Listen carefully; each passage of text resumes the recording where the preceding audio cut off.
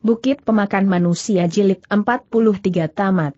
Bukan begitu maksud perkataan kami tadi, San Tiong Lo berkata serius. Wan Chu berhak atas segala sesuatu yang berlangsung dalam wilayah kekuasaannya, jadi kami merasa wajib untuk meminta izin kepadamu. Kembali Jin Jin tertawa. Mana, mana, sekalipun aku benar-benar menampik, mungkin saja Sau Hiap sekalian akan memaksa dengan kekerasan. San Tiong Lo segera menggelengkan kepalanya berulang kali. Aha, tidak mungkin, kami pasti akan mohon persetujuan dan pengertian lebih dulu dari Wan Chu. Jin Jin menghembuskan napas panjang. Padahal dergan tenaga dalam yang dimiliki Sau Hiap, hal ini tak perlu dilakukan. Ji berkerut kening, mendadak dia menyela dari samping dengan suara keras. Wancu, bolehkah aku bertanya, dapatkah kami turun tangan dengan segera? Santiong lo khawatir Jin Jin akan berubah pikiran, maka cepat-cepat tegurnya kepada Ji. To aku, persoalan semacam ini tak perlu dilakukan secara tergesa-gesa, bagaimana kalau aku rundingkan dulu dengan Wancu? Tanda tanya. Ji tidak menjawab, dia cuma manggut-manggut berulang kali. Jin-Jin yang menyaksikan kesemuanya ini tanpa terasa segera berkata, Sau Hiap bersaudara saling hormat menghormati, kejadian ini sungguh patut dikagumi dan disanjung. Ah ah ah mana, mana titik Santiong Lo merendah. Kemudian setelah berhenti sejenak dia baru berkata lebih jauh, apakah Wan Chu mempunyai kesulitan dalam memberi petunjuk? Di mana letak lorong bawah tanah tersebut? Apakah menurut Xiao Hiap, aku harus memberi petunjuk? Jin Jin balik bertanya. San Tiong Lo segera tertawa. Bukannya harus atau tidak, yang paling penting dapatkan atau tidak. Mana, mana, menurut Xiao Hiap dapatkan aku memberitahukan tempat tersebut kepadamu Jin Jin balas tertawa. San Tiong memang tidak malu disebut seorang pendekar sejati, dengan serius dia berkata, Bila aku yang menghadapi pertanyaan ini, maka aku akan menjawab. Tidak dapat. Bauji menjadi tertegun setelah mendengar perkataan ini, tanpa terasa dia berseru. Jite, kau. Coba tuh aku bayangkan, selas Santiong Lo cepat, sebagai seorang wanju ternama, mana dia tak berkemampuan untuk membekuk sendiri manusia yang munafik dan tidak mengenal budi itu sehingga memerlukan bantuan dari orang luar. Jin Jin segera tertawa terkekeh-kekeh. Haah, haah, sekarang aku baru tahu saja Ji Sau Hiap memiliki kepandaian silat yang sangat lihai, dalam teknik berbicara pun kau mempunyai kelebihan yang mengagumkan, sungguh membuat aku kagum setengah mati. Wan Chu terlalu memuji Santong Lo tertawa. Jin Jin merenung sejenak, lalu dengan suara yang dalam dia berkata lagi. Terus terang saja ku katakan, aku memang bermaksud demikian, mau Tin Hang berani menganiaya aku membakar rumah tinggalku, membunuh dayangku aku harus menangkapnya hidup-hidup untuk dijatuhi hukuman yang setimpal. Kembali Baoji hendak buka mulut, tapi Hao Uji segera mencegahnya sambil berbisik. Tak ada gunanya banyak berbicara sekarang, Mengapa kita tidak saksikan bagaimana Xiao Liong menghadapi keadaan tersebut? Baoji berbisik pula. Kita harus mencincang bajingan Shimao tersebut, bila dia sampai berhasil membekuknya. Apa sih faedahnya berdebat pada saat ini tukas Haoji, apalagi bagaimanakah situasinya masih belum diketahui. Baoji tidak berbicara lagi, dia lantas membungkam dalam seribu bahasa. Sementara Santiong Lo sedang berkata kepada Jin Jin. Hal ini sudah merupakan suatu keharusan bagi Wan Chu, sudah barang tentu aku tak akan mengajukan permintaan yang berlebihan tapi kami masih tetap berharap kepada Wan Chu agar mengizinkan. Kami semua untuk menyaksikan kerja Wan Chu di dalam usaha membekuk bajingan tersebut. Oh oh oh, hal ini dikarenakan Sau Hiap tidak percaya kepadaku, atau Sau Hiap menganggap aku tidak becus dalam menangkap orang? San Tiong Lo hanya tertawa belaka tanpa menjawab, hal ini membuat Jin Jin segera mengedipkan matanya berulang kali. Mendadak. Dari sisi telinga Jin Jin berkumandang suara bisikan. Jalan darah di sebagian tubuh Wan Chu tertotok, apakah hal tersebut dikarenakan ulah dari bajingan mau? Mendengar ucapan itu, berubah hebat paras muka Jin Jin, tanpa terasa dia mengalihkan sorot matanya ke wajah Santiong Lo. Menyusul kemudian terdengar suara bisikan tadi berkumandang lebih jauh.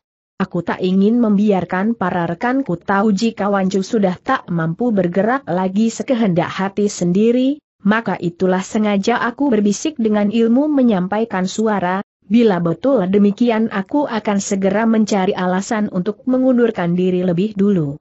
Bila kami mengundurkan diri nanti, harap Wancu mencari alasan untuk menahan diriku seorang di tempat ini dan mengantarkan rekan lainnya ke kamar penerima tamu. Aku mengerti ilmu pertabiban, siapa tahu kalau aku bisa membebaskan dirimu dari pengaruh totokan tersebut? Sekali lagi nampak Jin-Jin tertegun, bahkan terlintas pula perasaan gembira.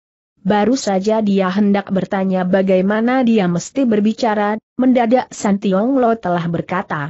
Begini saja, untuk sementara waktu aku akan mengundurkan diri lebih dulu, silahkan Wan Chu mempertimbangkan hal tersebut masak-masak kemudian baru memberi kabar, entah bagaimana pendapatmu.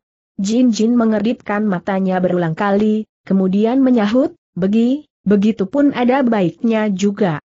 Maka Santiong Lo sekalian segera bangkit berdiri dan mohon diri.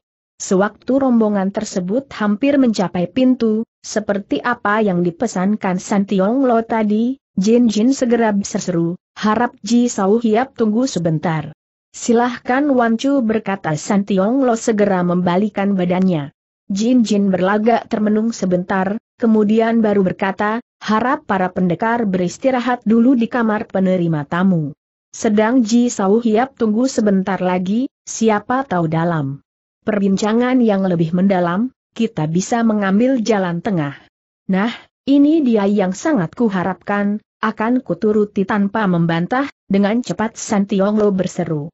Tidak dengus Nona Kim tiba-tiba, aku pun akan tetap tinggal di sini. Santiong Lo yang mendengar perkataan tersebut, buru-buru menyambung. Adik Kim, temanilah para jago, sebentar saja aku akan kembali ke ruang penerima tamu. Kemudian setelah terhenti sejenak, dengan ilmu menyampaikan suara ia berbisik. Dia sudah terkena serangan gelap dari bajingan Mao, aku bermaksud menolongnya agar bisa memperoleh kesempatan untuk membekuk bangsat tersebut. Kini Nona Kim baru mengetahui duduk persoalan yang sebenarnya, maka dia pun berkata, Baiklah, cuma kau harus cepat balik lo. Santiong Lo manggut-manggut sambil mengiyakan, maka para jago pun diiringi pelayan wanita berlalu dari ruangan tersebut. Menanti semua jago sudah berlalu dari hadapan mukanya, Santiong Lo baru balik kembali ke tempat duduknya semula. Jin Jin memandang sekejap para pelayan yang berada di kiri dan kanan, mendadak ujarnya sambil mengulapkan tangan kecuali bikui kalian semua mundur dari ini. Para pelayan mengiyakan dan serentak mengundurkan diri dari ruangan. Kembali Jin Jin berpaling ke arah bikui sembari berkata, ruangan dalam sudah hancur, doronglah aku masuk ke ruang. Rahasia dari ruang tengah ini. Bikui tertegun setelah mendengar ucapan itu, bisiknya dengan cepat. Wancu, mengapa di hadapan musuh kau menyampaikan suruh budak mendorongmu? Sejak tadi Ji Sao Hiap sudah tahu kalau jalan darahku telah ditotok orang tukas Jin-Jin tertawa. Berubah hebat selembar wajah Bikui setelah mendengar ucapan tersebut. Kalau memang begini, bukankah keadaannya jauh lebih menakutkan dia berseru. Sekali lagi Jin-Jin tertawa. Bagaimana menakutkannya? Bikui seperti hendak mengucapkan sesuatu, namun akhirnya diurungkan. Jin Jin yang melihat hal mana dengan cepat menyambung, apakah kau takut aku terjatuh ke tangan Ji So Hiap? Harap Wan Chu maklum, mau tak mau budak harus mempunyai pikiran demikian. Tak mungkin, kalau Ji So Hiap hendak bertindak, dengan kepandaian silat yang dia miliki, mungkin aku sudah terjatuh ke tangannya sedari tadi, masa harus menunggu hingga sekarang? Merah padam selembar wajah Bikui karena jengah, dia lantas manggut-manggut, ucapnya kepada Santiong Lo. Harap Sau Hiap memaafkan kelancanganku. Tidak sahut Santiong Lo serius, demi kesetiaanmu terhadap majikan, aku malah kagum dan hormat atas sikapmu ini. Dengan tersipu-sipu Bikui menundukkan kepalanya rendah-rendah dan tidak berbicara lagi. Pergilah, perintah Jin Jin kemudian. Apalagi yang kau nantikan? Maka Bikui segera mendorong kereta duduk dari Jin Jin berangkat ke ruang rahasia. Sebuah pembaringan mungil dengan kelambu berwarna merah jambu yang indah. Bau harum semerbak tersiar di seluruh ruangan. Mendadak terdengar keluhan lirih, menyusui kemudian Jin Jin meluruskan kakinya dan pelan-pelan bangun duduk. San Tiong Lo yang bermandikan keringat sedang menyeka air keringat sembari berkata, Untung saja tidak sampai menyia-nyiakan pengharapanmu. Dia berdiri di samping pembaringan dengan sekulum senyuman menghiasi wajahnya. Mendadak sebuah tangan yang lembut dan halus mencekal pergelangan tangannya. Baru saja Santiong Lo berkerut kening Jin Jin telah buka suara dan berkata lagi. Ji Sao Hiap, entah bagaimana caraku untuk menyatakan rasa terima kasihku kepadamu. Diam-diam Santiong Lo menghembuskan napas panjang, sekarang dia baru mengerti apa sebabnya Jin Jin mencekal dirinya barusan, ternyata ia berbuat demikian sebab terdorong oleh perasaan terima kasihnya yang tebal. Maka dia lantas tersenyum. Wancu, Bila kau menggunakan kata berterima kasih dalam hal ini, bukankah hal tersebut kelewat asing namanya? Jin Jin tertawa getir. Tidak, aku benar merasa berterima kasih sekali sehingga sukar terutarakan keluar. Memandang tangan yang masih menggenggam pergelangan tangannya, San Tiong Lo berkata lebih jauh. Silahkan Wan Chu mencoba untuk mengerahkan tenaga dalam, coba kita lihat apakah ada halangan?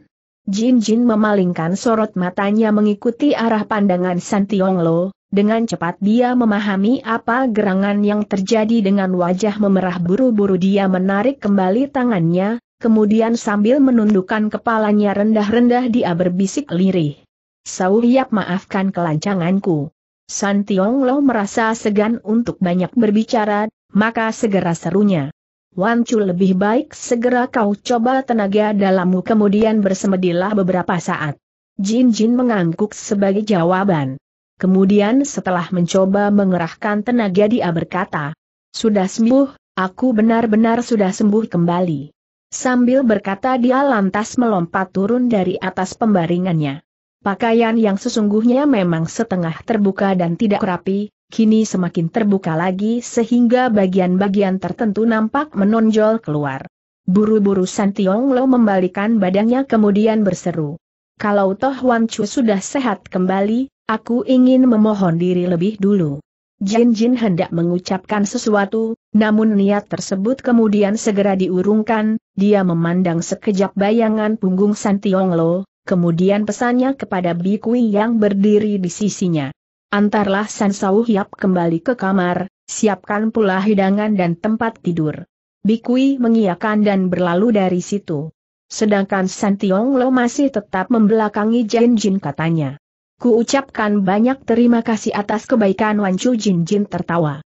Sau Hiap sudah boleh membalikan badan, aku sudah selesai berpakaian.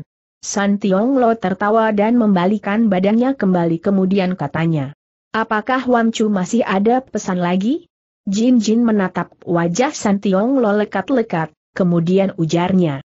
Mengapa Sao Hiap tidak bertanya tentang masalah Mao Tin Hong? Tanda tanya. Aku pasti akan bertanya, cuma bukan sekarang, sahut San. Tiong Lo serius, aku menolong Wan Chu membebaskan diri dari pengaruh totokan karena aku bertindak demi kebenaran dalam dunia persilatan, bila menolong disertai permintaan, itu namanya perbuatan yang tidak terpuji. Jin Jin semakin terharu dibuatnya, cepat dia berkata. Aku mengira tiada manusia kuncu lagi di dunia ini, siapa tahu aku telah menjumpainya hari ini baik, silahkan Sau Hiap beristirahat, paling lama satu jam kemudian aku pasti akan mengirim kabar gembira. San Tiong Lo tertawa sambil mengucapkan terima kasih, kemudian mengikuti Bikui keluar dari ruangan rahasia tersebut. Di tengah jalan tiba-tiba Bikui bertanya, Sau Hiap, ada beberapa persoalan ingin kutanyakan kepadamu. Oha, silahkan Nona ajukan sahut Santiong Lo sembari. Manggut-manggut. Nona tadi, sesungguhnya apanya Sau Hiap? San Tiong Lo tahu kalau Nona Kim yang dimaksudkan oleh Dayang ini, maka sahutnya. Dia adalah seorang rekan seperjuanganku, sahabat perempuanku yang paling karib. Oha, betapa baiknya nasib dia. Menggunakan kesempatan tersebut San Tiong Lo segera berkata dengan cepat. Setiap manusia yang ada di kolong langit sesungguhnya bernasib sama asal kau menghadapinya dengan ketulusan hati serta kejujuran, maka yang kau peroleh pun ketulusan hati serta kejujuran. Bikwi segera menggelengkan kepalanya berulang kali. Ah ah ah, belum tentu demikian serunya singkat, buktinya sikap Wancu kami terhadap Mao Tin Hang boleh dibilang cukup tulus hati dan. Tapi Santiong Lo segera menggelengkan pula kepalanya. Sekarang, mungkin memang begitu, bagaimana dengan sikapnya di masa lampau? Perkataan ini ibarat sebuah tongkat besi yang dipukulkan ke atas kepalanya keras-keras, seketika itu juga membuat Bikui merasa amat terkesiap. Dengan cepat Santiong Lo berkata lebih jauh. Aku tahu bahwa Nona sangat pintar, moga-moga saja kau dapat bersikap tulus hati dan jujur terhadap orang yang kau kasihi di kemudian hari, jangan melupakan jasa orang, dan janganlah karena suatu kesalahan kecil berakibat melupakan jasa baiknya dulu. Ketahuilah lelaki di dunia ini bukan semuanya tidak berperasaan. Bikui menundukkan kepalanya rendah-rendah tanpa berbicara, agaknya dia tak mampu mengucapkan sepatah kata pun. Setelah menghela napas panjang, Santiong Lo berkata lebih lanjut. Sang Antai Hiap sama sekali tidak mendendam terhadap Nona. Tertegun Bikui mendengar ucapan tersebut, serunya dengan dengan cepat agak keheranan. Siapa sang keantai hiap itu? Dia bukan lain adalah Kua Chun Seng, kakak Nisan Mao Tin Hang sewaktu berada di perahu dalam telaga Tong Tingo tempo hari. Merah membara selembar wajah Bikui setelah mendengar peristiwa itu disinggung, kepalanya ditundukkan semakin rendah, teringat kembali perbuatan cabul dan tindak tanduk jalangnya di masa lampau, bagaimana mungkin dia tidak jengah dibuatnya? Bagaimanapun jalangnya Bikui di masa lampau, dia tak dapat dibandingkan dengan kawanan pelacur di rumah-rumah hiburan, sebagai perempuan, dia masih tetap mempunyai perasaan malu, dan perasaan cinta pun tak bisa terhapus dengan begitu saja dari dalam hati kecilnya.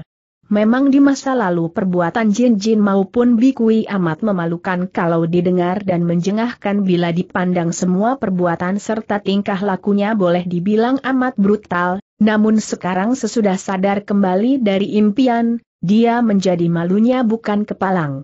Rasa malu yang bertubi-tubi membuat ia semakin insaf akan kesalahan besar yang pernah diperbuatnya di masa lalu.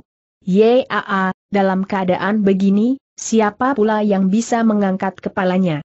Dia bikui, hanya bisa menundukkan kepalanya dengan wajah tersipu-sipu, lalu sahutnya lirih. Sau hiap, harap Kasudi mewakili budak untuk mohonkan maaf yang sebesar-besarnya kepada sang keantai hiap. Pasti akan ku sampaikan, sahut Santiong Lo tertawa, selanjutnya bila Nona membutuhkan bantuan dari kami semua, Katakan saja secara terus terang, dengan senang hati kami semua akan membantumu dengan segala kemampuan yang kami miliki. Terima kasih banyak Sau Hiap atas kebaikanmu Bikui betul-betul merasa terharu dan terima kasih, cukup menyaksikan pada bantuan Sau Hiap sekalian untuk wancu kami, budak sekalian sudah merasa telah banyak menerima kebaikan kalian. Sementara pembicaraan berlangsung, mereka sudah tiba di muka kamar penerima tamu maka Bikwi segera mohon diri untuk mengundurkan diri. Dengan perasaan yang tenang dan terbuka, San Tiong Lo melangkah masuk ke dalam ruangan penerima tamu dengan langkah lebar, ketika Baoji sekalian menyaksikan dia sudah kembali, serentak pada berkerumun untuk menanyakan keadaan. San Tiong Lo tahu bahwa semua orang telah mengetahui tentang tertotoknya jalan darah Jin-Jin dari mulut Nona Kim, maka secara ringkas dia menuturkan tindakan pertolongan yang telah dilakukan olehnya dan sebagai akhir kata dia menambahkan. Mungkin Wan Chu tak akan menampik permintaan kita untuk membekuk bajingan Shimao tersebut. Kalau memang begitu, mengapa hal tersebut tak dikatakan kepadamu tanya Bauji? Dia telah menanyakan soal itu kepadaku, adalah aku sendiri yang tak ingin membicarakan masalah tersebut dengan segera. Oh, oh, apakah hal ini dikarenakan soal kepercayaan Santiong Lo manggut-manggut? Yaa, kita membantu orang tanpa pamrih, apakah kita mesti menuntut balas jasa setelah menolongnya terbebas dari totokan? Betul, kalau begitu baiklah kita menunggu sampai dia mengabarkan sendiri kepada kita. Aku rasa, tidak seharusnya kita mempercayainya dengan begitu saja, mendadak Sang Ki berkata dengan kening berkerut kencang. Nona Ki melirik sekejap ke arah Sang Ki, lalu bertanya. Atas dasar apa kau berkata demikian? Sesungguhnya dia dan bajingan Mao adalah sepasang suami istri, di saat jalan darahnya tertotok, tentu saja hatinya marah dan dendam, tapi setelah jalan darahnya bebas, masa dia bersedia untuk mengizinkan kepada kita guna membekuk bangsat itu. Lantas bagaimana baiknya menurut pendapatmu tanya Nona Kim lebih jauh. Seharusnya kita menguasai gerak-gerik mereka secara diam-diam. Jangan dilihat Mo Kiao Jiu adalah musuh bebuyutan Sang Kuan Ki, namun pandangannya terhadap masalah ini ternyata seirama dan searah. Tampak Mo Kiao Jiu manggut-manggut sembari menimbrung, Yaa, betul.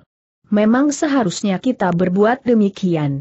Tidak, bila kita sampai berbuat demikian maka hal ini akan menodai harga diri kita sendiri, tolak Santiong Lo tegas-tegas dengan wajah serius.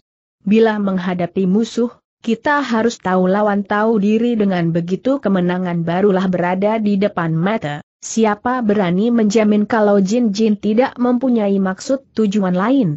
Aku berani menjamin Wancu tak akan mempunyai maksud tujuan lain Santiong Lo segera menegaskan. Oleh karena pemuda itu sudah berkata demikian, sudah barang tentu tiada orang yang berani berkata apa-apa lagi dan persoalan diputuskan begitu. Walaupun malam itu tidak terlalu gelap, namun suasana di empat penjuru gelap gulita, sukar melihat pemandangan di sekeliling sana dengan nyata. Sebab tempat tersebut merupakan lorong bawah tanah, sedikit pun tiada cahaya luar yang dapat masuk ke sana.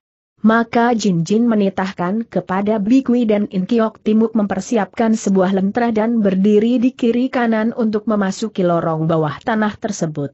Mereka sedang melakukan pencarian yang lebih seksama lagi untuk menemukan jejak Mao Tin Hong, sudah barang tentu Jin Jin sangat hafal dengan daerah sekitar lorong bawah tanah itu, apalagi jalan menuju ke ruang bawah memang hanya sebuah. Setengah jalan sudah mereka tempuh, namun belum juga nampak bayangan dari Mao Tin Hong. Maju lagi beberapa langkah, di bawah cahaya lentera yang menyinari sekeliling tempat tersebut, Jin Jin segera menurunkan tangannya mencegah In Kiok dan Bikui untuk maju lebih ke muka, katanya. Setelah membelok pada tikungan di depan sana lalu berjalan lima kaki lagi, kita akan sampai di mulut gua yang disegel tersebut. Aku menduga bajingan Shimao itu bisa jadi bersembunyi di tempat kegelapan dekat tikungan tadi, kita mesti meningkatkan kewaspadaan, hati-hati kalau sampai tersergap olehnya. Wancu, izinkanlah budak untuk berjalan di muka, seru Bikui tiba-tiba sambil menyelinap ke muka. Seandainya Mao Tin Hang betul-betul menyembunyikan diri dekat tikungan tersebut dan apabila Bikui jalan di muka, maka apabila ada sergapan, niscaya budak itu akan mati lebih dulu. Tapi, begitu Mao Tin Hang menampakkan jejaknya, niscaya dia tak akan mampu untuk melepaskan diri lagi. Jadi tindakan dari Dayang ini boleh dibilang suatu langkah menyerempet bahaya. Di masa lalu, sekalipun Bikui dapat pula berbuat demikian, tapi hal tersebut sudah pasti dilakukan karena menjalankan perintah atau paling tidak untuk mencari muka. Berbeda sekali dengan hari ini, dia munculkan diri atas dasar kerelaan serta kemauan sendiri tanpa paksaan ataupun mempunyai maksud tujuan tertentu. Tentu saja Jin Jin tidak memperkenankan dayang kesayangannya itu menyerempet bahaya, cepat cegahnya. Tidak usah, kita punya Caroline. Berbicara sampai di situ, mendadak Jin Jin bergeser ke depan lalu sekuat tenaga melepaskan sebuah pukulan dahsyat ke arah tengah lorong. Bila di situ ada orang sedang bersembunyi sudah pasti tidak akan segera menampakkan diri.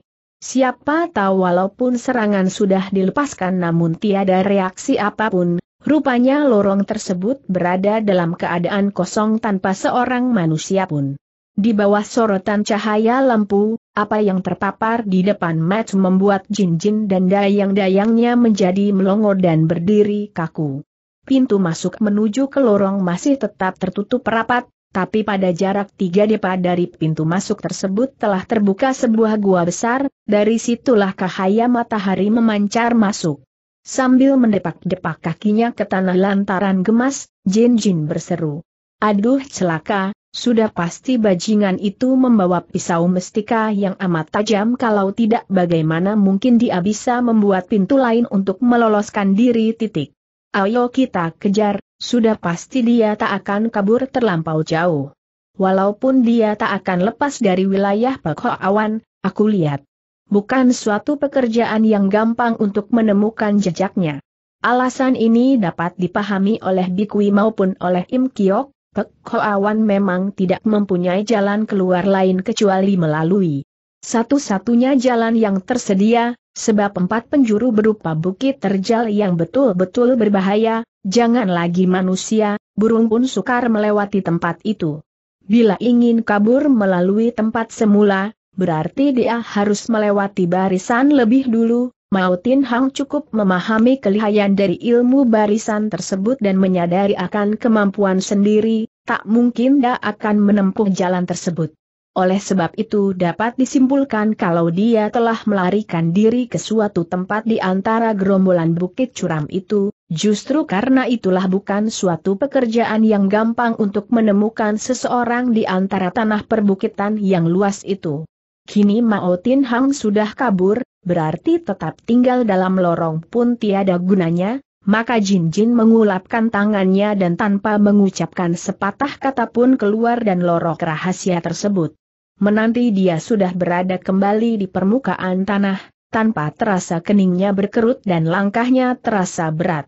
Rupanya untuk membalas budi kebaikan Santiong Lo yang lelah menyembuhkan lukanya, Selain itu dia pun beranggapan bahwa dia akan semudah merogoh barang dalam saku sendiri untuk membekuk Mao Tin Bong kali ini, maka dia memasuki lorong rahasia tersebut tanpa mengundang para jago untuk melakukan perjalanan bersama-sama.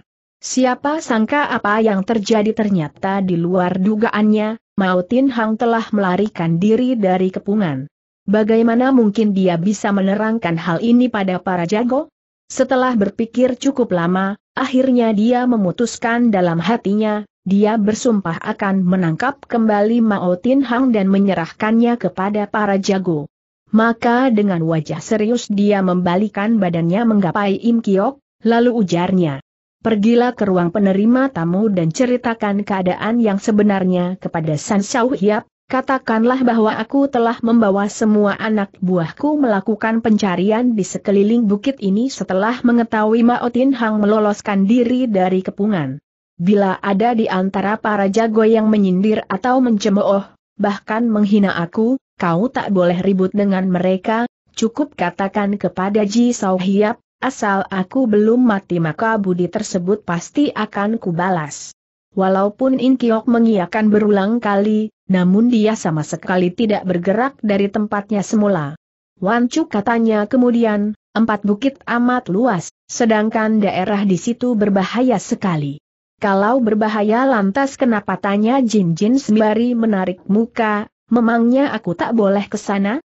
Menurut pendapat budak, bagaimana kalau Wan Chu mengundang kedatangan San Sao Hiap agar datang sendiri kemari serta menerangkan duduk persoalan yang sebenarnya, kemudian bergabung dengan para pendekar, kita bisa memecahkan diri dalam beberapa rombongan ut melakukan penggeledahan di sekeliling bukit ini.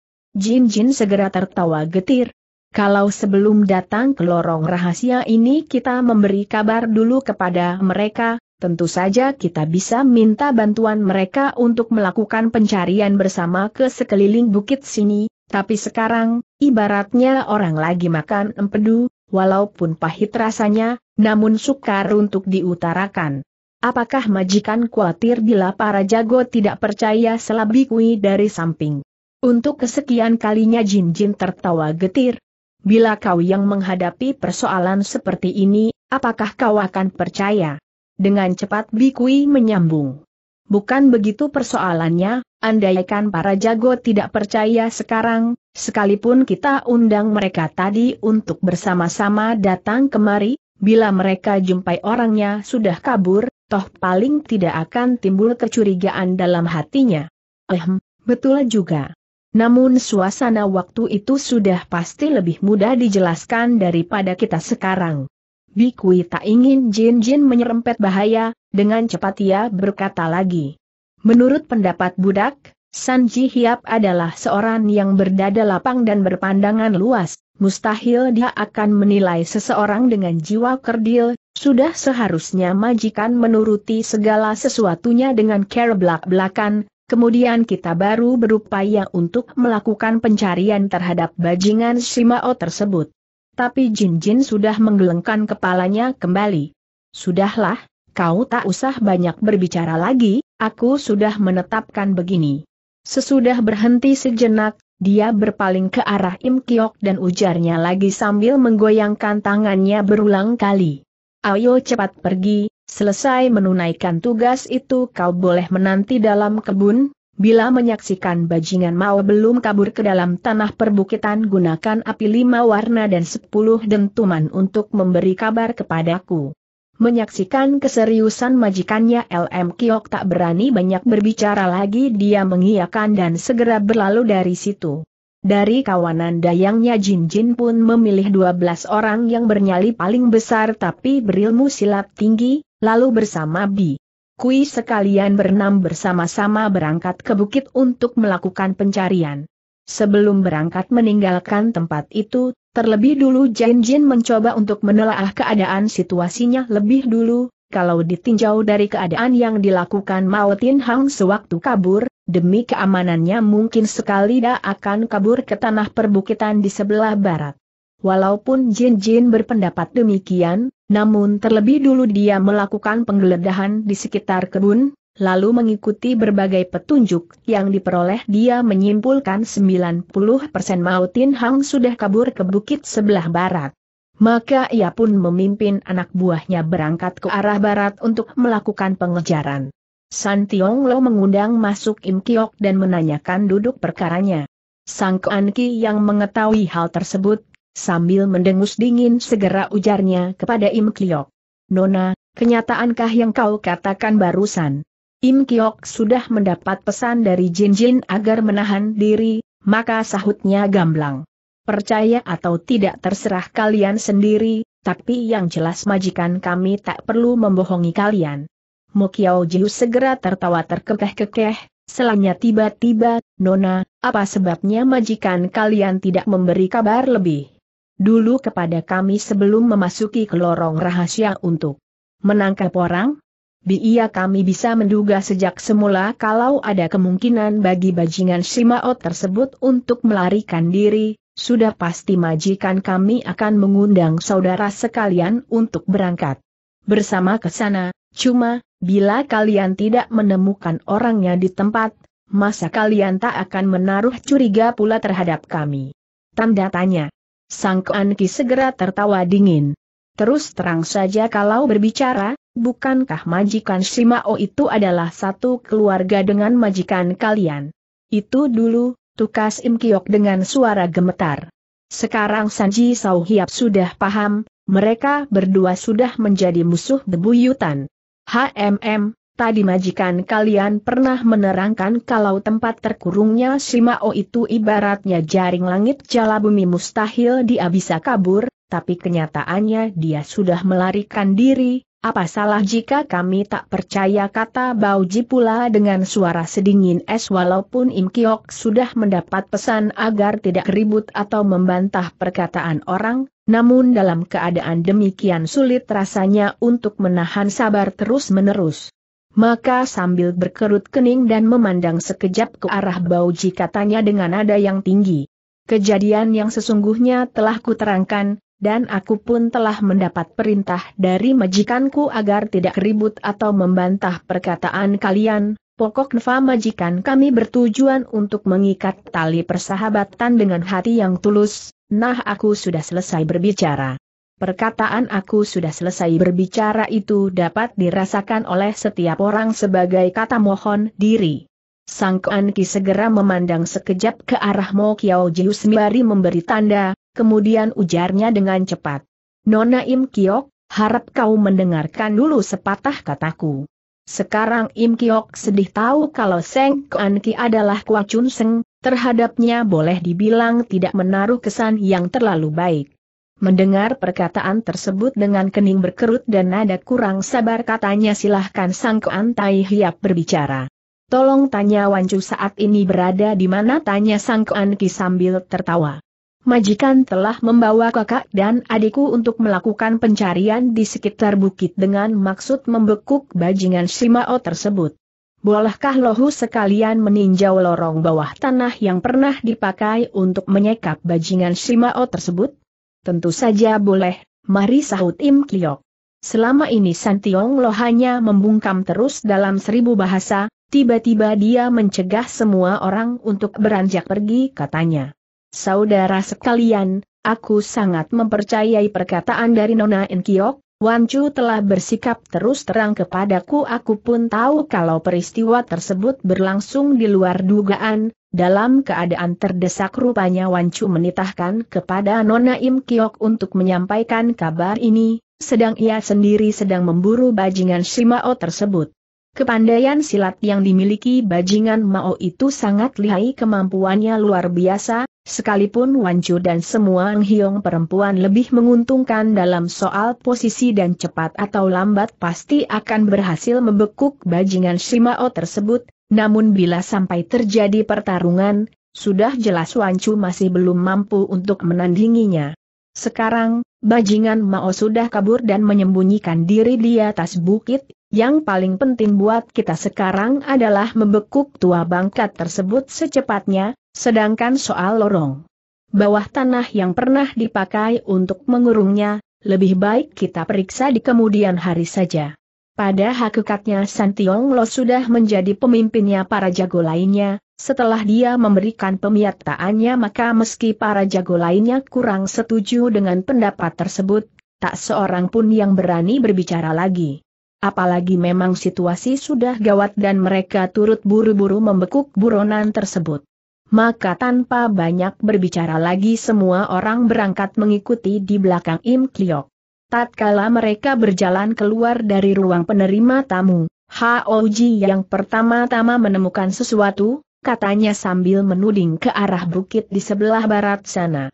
Xiao Liong cepat lihat, di bukit sebelah barat terdapat serombongan manusia.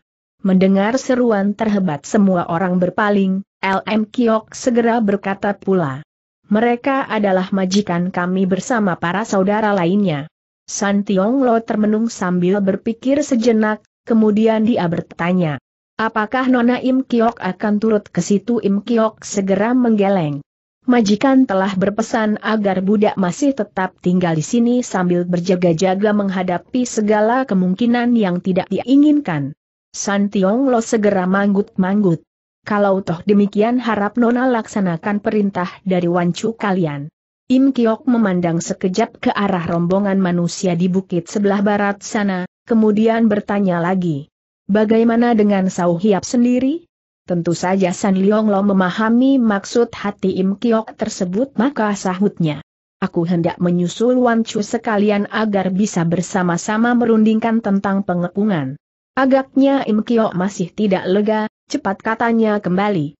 Untuk membalas budi kebaikan Sau Hiap, Wan Chu telah melakukan hal tersebut, di saat dia menyaksikan bajingan mau kabur dari kepungan, dia sudah bertekad untuk membekuk buronan tersebut, akaf tetapi kepandaian silat yang dimiliki bajingan si Mao itu.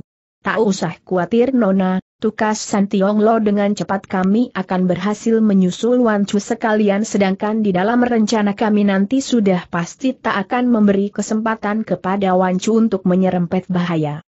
Mendengar perkataan itu, Im Kiok segera menjura dalam-dalam dengan wajah serius.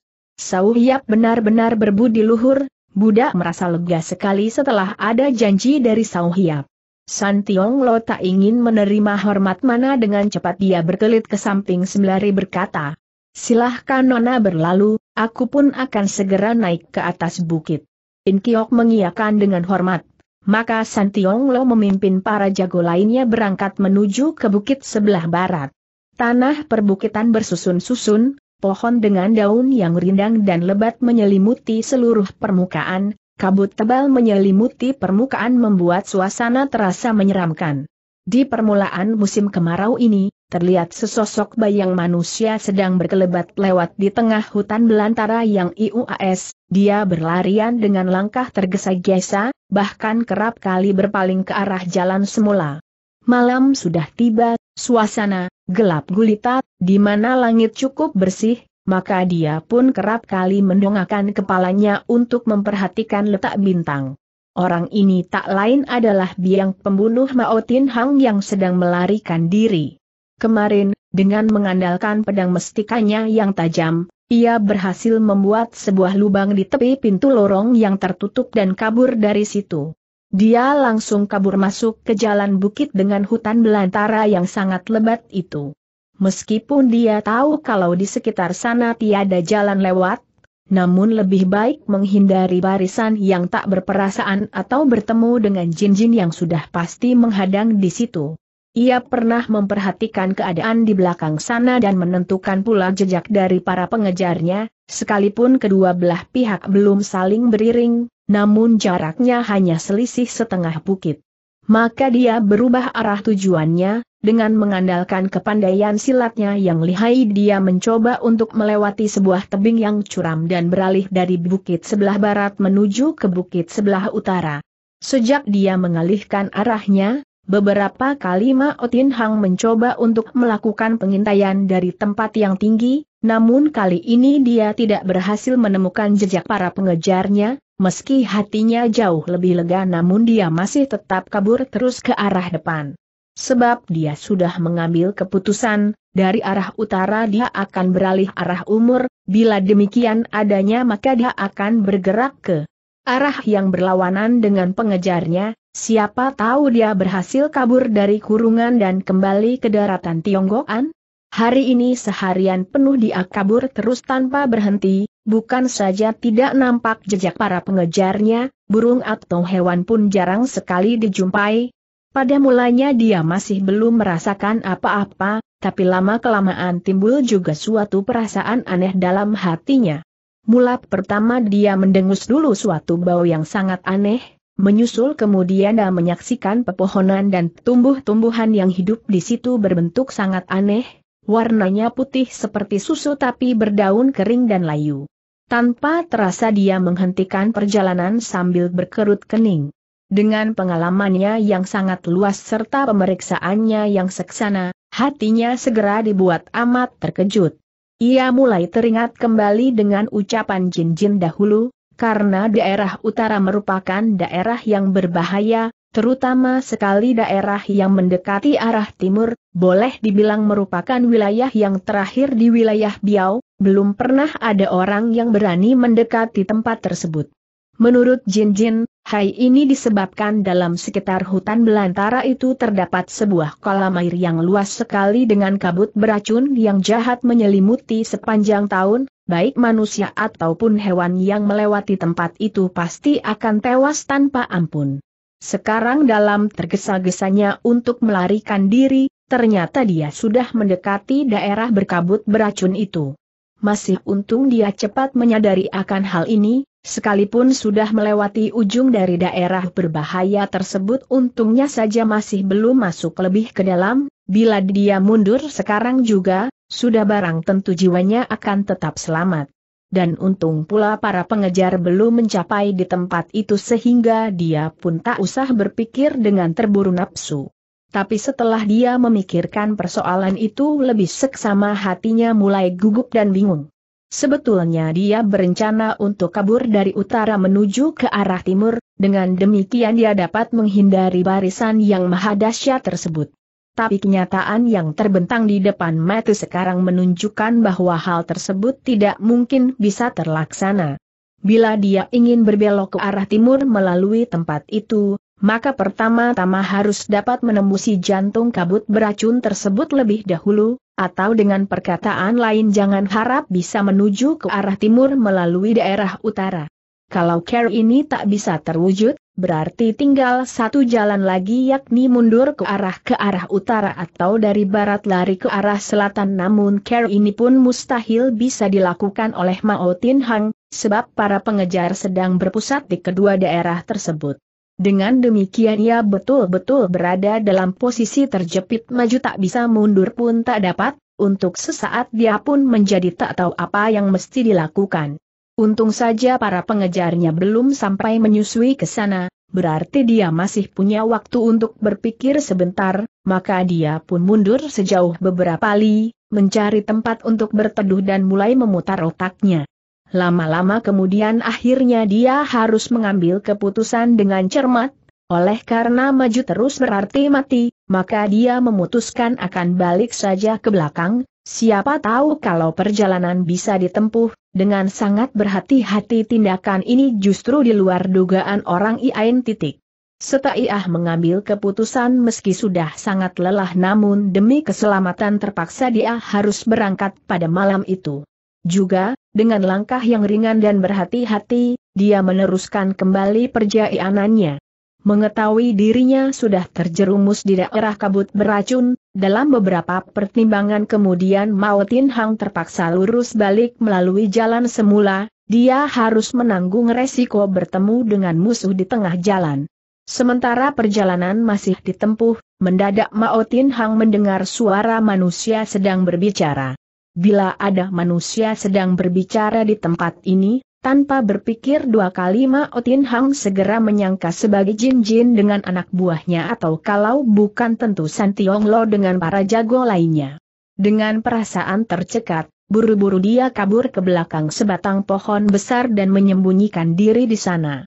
Memang mengenaskan sekali, seorang pentolan dunia persilatan yang pernah disanjung dan dihormati oleh umat persilatan di seluruh dunia, sekarang harus menyembunyikan diri bagaikan anjing terkena gebuk, bukan saja tidak memiliki kegagahan lagi seperti dulu, bahkan dari mendengar suaranya sudah dibuat ketakutan setengah mati.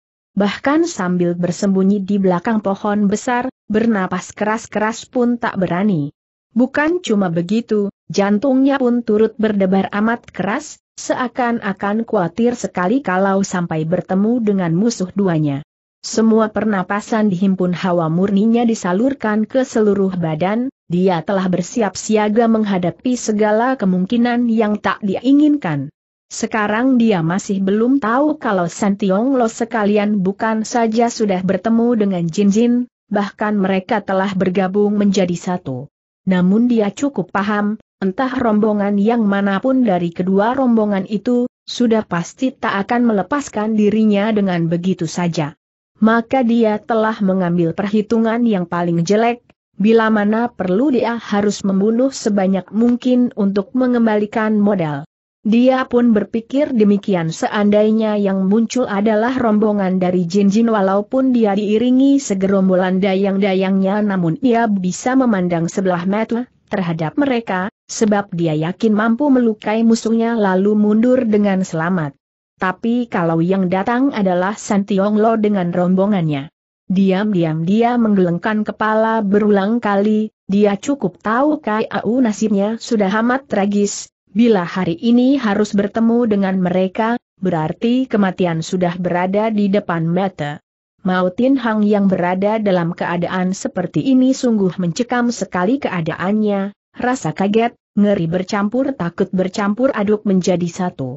Pepatah kuno bilang, kalau rejeki pasti bukan bencana, kalau bencana siapa pun tak akan terhindar. Ada pula yang berkata begini, yang harus datang, akhirnya pasti akan datang juga. Maka suara pembicaraan manusia itu pun kian lama kian bertambah mendekat, Mao Tin Hang juga makin lama merasa hatinya makin ketakutan setengah mati. Ternyata yang muncul adalah seorang lelaki dan seorang perempuan, bahkan mereka tidak maju lebih ke depan, melainkan berbelok ke sebelah kiri pohon dan menelusuri sebuah jalan setapak. Di tengah malam yang sepi, pembicaraan kedua orang itu dapat terdengar jelas, apa iagi di daerah yang tak bermanusia sama sekali, tidak heran kalau sepasang laki perempuan itu berbicara tanpa ragu. Terdengar yang pria serang berkata, aku merasa tubuhku ini makin hari makin bertambah lembek saja rasanya, AAI. Begitu mendengar suara dan nada pembicaraan tersebut, Mao Tin Hang sudah merasa hatinya agak lega separuh. Menyusul kemudian yang perempuan menyaut. Tapi sekarang kita tak usah khawatir lagi, apabila kita berhasil juga memperoleh buah cuko tersebut. Buah cuko sepasang telinga Mao Tin Hang yang seakan-akan berdiri tegak seperti keledai yang sedang mendengarkan sesuatu suara aneh. Lelaki tadi kembali berkata, tapi apalah gunanya? Paling banter hanya bisa hidup terus, namun kepandaian silatku tak pernah akan pulih kembali, kita harus bersembunyi lagi di tempat yang terpencil macam neraka ini, HMMM. Sudahlah, tahanlah keadaan sedikit hibur perempuan itu, dunia persilatan amat berbahaya, orang-orang dalam persilatan pun licik dan busuk hatinya, coba kau lihat siapa sih di antara sekian jago kenamaan dalam dunia persilatan yang berhasil memperoleh akhir hidup secara baik. Sekalipun ilmu silatmu sudah punah sekarang dan tak mungkin bisa pulih kembali untuk selamanya, namun ibarat sayang kehilangan kuda, Siap tahu kalau akibat musibah malah memperoleh keuntungan? Asal kita berdua dapat hidup berdampingan secara begini sampai tua nanti, oh oh bukankah hidup kita ini sangat berbahagia? Lelaki tadi kembali mendengus dingin. Tentu saja bahagia, kepandaian silatmu bertambah maju dengan pesatnya, mendaki bukit menyeberangi jurang semuanya bisa kau lakukan dengan mudah tentu saja kau bahagia, tapi kau jangan lupa, aku. Coba lihat kau melamun lagi tukas perempuan itu cepat, coba kalau aku tidak mesti berburu dan mencari bahan makanan, aku benar-benar tak sudi menggunakan ilmu silatku lagi, aku tak ingin berpisah denganmu meski hanya sedikit pun. Lelaki itu menghela napas berat, lalu membelokkan pokok pembicaraan ke soal lain, ujarnya. Kalau kita bisa hidup dengan aman dan sentausa, hal ini masih mendingan, kuatirnya bila suatu hari bencana besar muncul di depan mata, mau kabur tak bisa, mau menghindar sukar bisa jadi aku harus menggorok leher untuk menghabisi nyawa sendiri. Perempuan itu nampak amat sabar dan tabah, kembali dia menghibur dengan lembut. Kau tak usah khawatir, tak ada manusia yang bisa sampai di sini, atau seandainya ada aku toh yakin masih sanggup untuk melindungi keselamatan jiwamu. Sudahlah kata lelaki yang berpikiran sempit itu, suami istri memang seharusnya sehidup semati, tapi bila bencana tiba, siapa tahu akan menyelamatkan diri sendiri? Sekarang saja kau bisa berkata begini, coba kalau sampai keadaan tersebut yang pasti kau akan terbang dan aku yang mampus. Tampaknya habis sudah kesabaran perempuan itu, dengan suara dalam dia segera berseru. Apa maksudmu berkata demikian? Jangan marah, mungkin aku sedang kesal sehingga mengucapkan kata dua yang kurang sedap. Karena lelaki itu sudah mengaku salah, yang perempuan pun tidak menegur lebih jauh, katanya kemudian. Mari kita percepat langkah kita cepat sampai rumah dan cepat beristirahat. Lelaki itu mengiyakan menyusul kemudian langkahnya dipercepat dan makin lama suaranya semakin menjauh. Mao Tin Hang yang bersembunyi di belakang pohon justru tertawa girang sambil diam-diam bertepuk tangan, dia seperti menang lotre seratus juta saja. Dalam keadaan begini, dia seakan-akan lupa kalau musuh tangguh masih mengejarnya, sambil keluar dari belakang pohon gumamnya seorang diri. Bagus, bagus sekali, inilah yang dinamakan bila takdir belum sampai, Tian akan merubah jalan dasar nasib aku mau lucu masih baik eh, eh, eh, ternyata aku dapat berjumpa dengan sepasang lelaki perempuan anjing tersebut di sini. Kemudian setelah berhenti sejenak, sambil bertepuk tangan dia bergumam lagi. Locu akan menguntil di belakang mereka lalu melakukan suatu kunjungan yang sama sekali di luar dugaan mereka, setelah itu yang laki dijagal, sedang yang perempuan, heeh, heeh. Dasar bajingan tua, di mana ada kesempatan, niat jahatnya segera muncul. Dengan bangga dia tertawa dingin berulang kali, kemudian gumamnya lebih jauh. Seandainya tempat itu cukup rahasia dan terpencil letaknya, aku akan hidup satu atau dua tahun baru keluar dari wilayah Biau ini, apalagi jika buah cuko dapat menambah tenaga dalamku, heeh, heeh silahkan saja perempuan cabul itu hidup tenang berapa waktu, haa, haa. Sambil tertawa seram tiada hentinya, dia segera melompat ke depan dan melakukan pengejaran. Waktu itu, laki dan perempuan tersebut belum keluar dari hutan belantara tersebut namun suara tertawa dingin dan gumaman Mautin Hang yang lirih tak sampai mengejutkan mereka. Namun Mautin Hang tidak seharusnya lupa daratan pada saat ini serta tertawa terbahak-bahak. Betul suara tertawanya tidak terhitung keras sekali, toh suara mana terdengar juga oleh perempuan yang berada di depan. Perempuan tersebut bukan cuma pintar, pengalamannya pun sangat luas, dengan cepat dia tahu kalau gelagat tidak menguntungkan. Sedangkan yang lelaki, kurang tenaga dalamnya sudah punah, apalagi benaknya sedang dipenuhi oleh persoalan yang pelik, maka dia sama sekali tidak mendengar atau merasakan apa-apa. Perempuan itu sama sekali tidak berpaling namun otaknya berputar keras mencari akal bagus untuk menghadapi keadaan tersebut, akhirnya dia menemukan sebuah akal bagus dan segera melaksanakannya menurut rencana.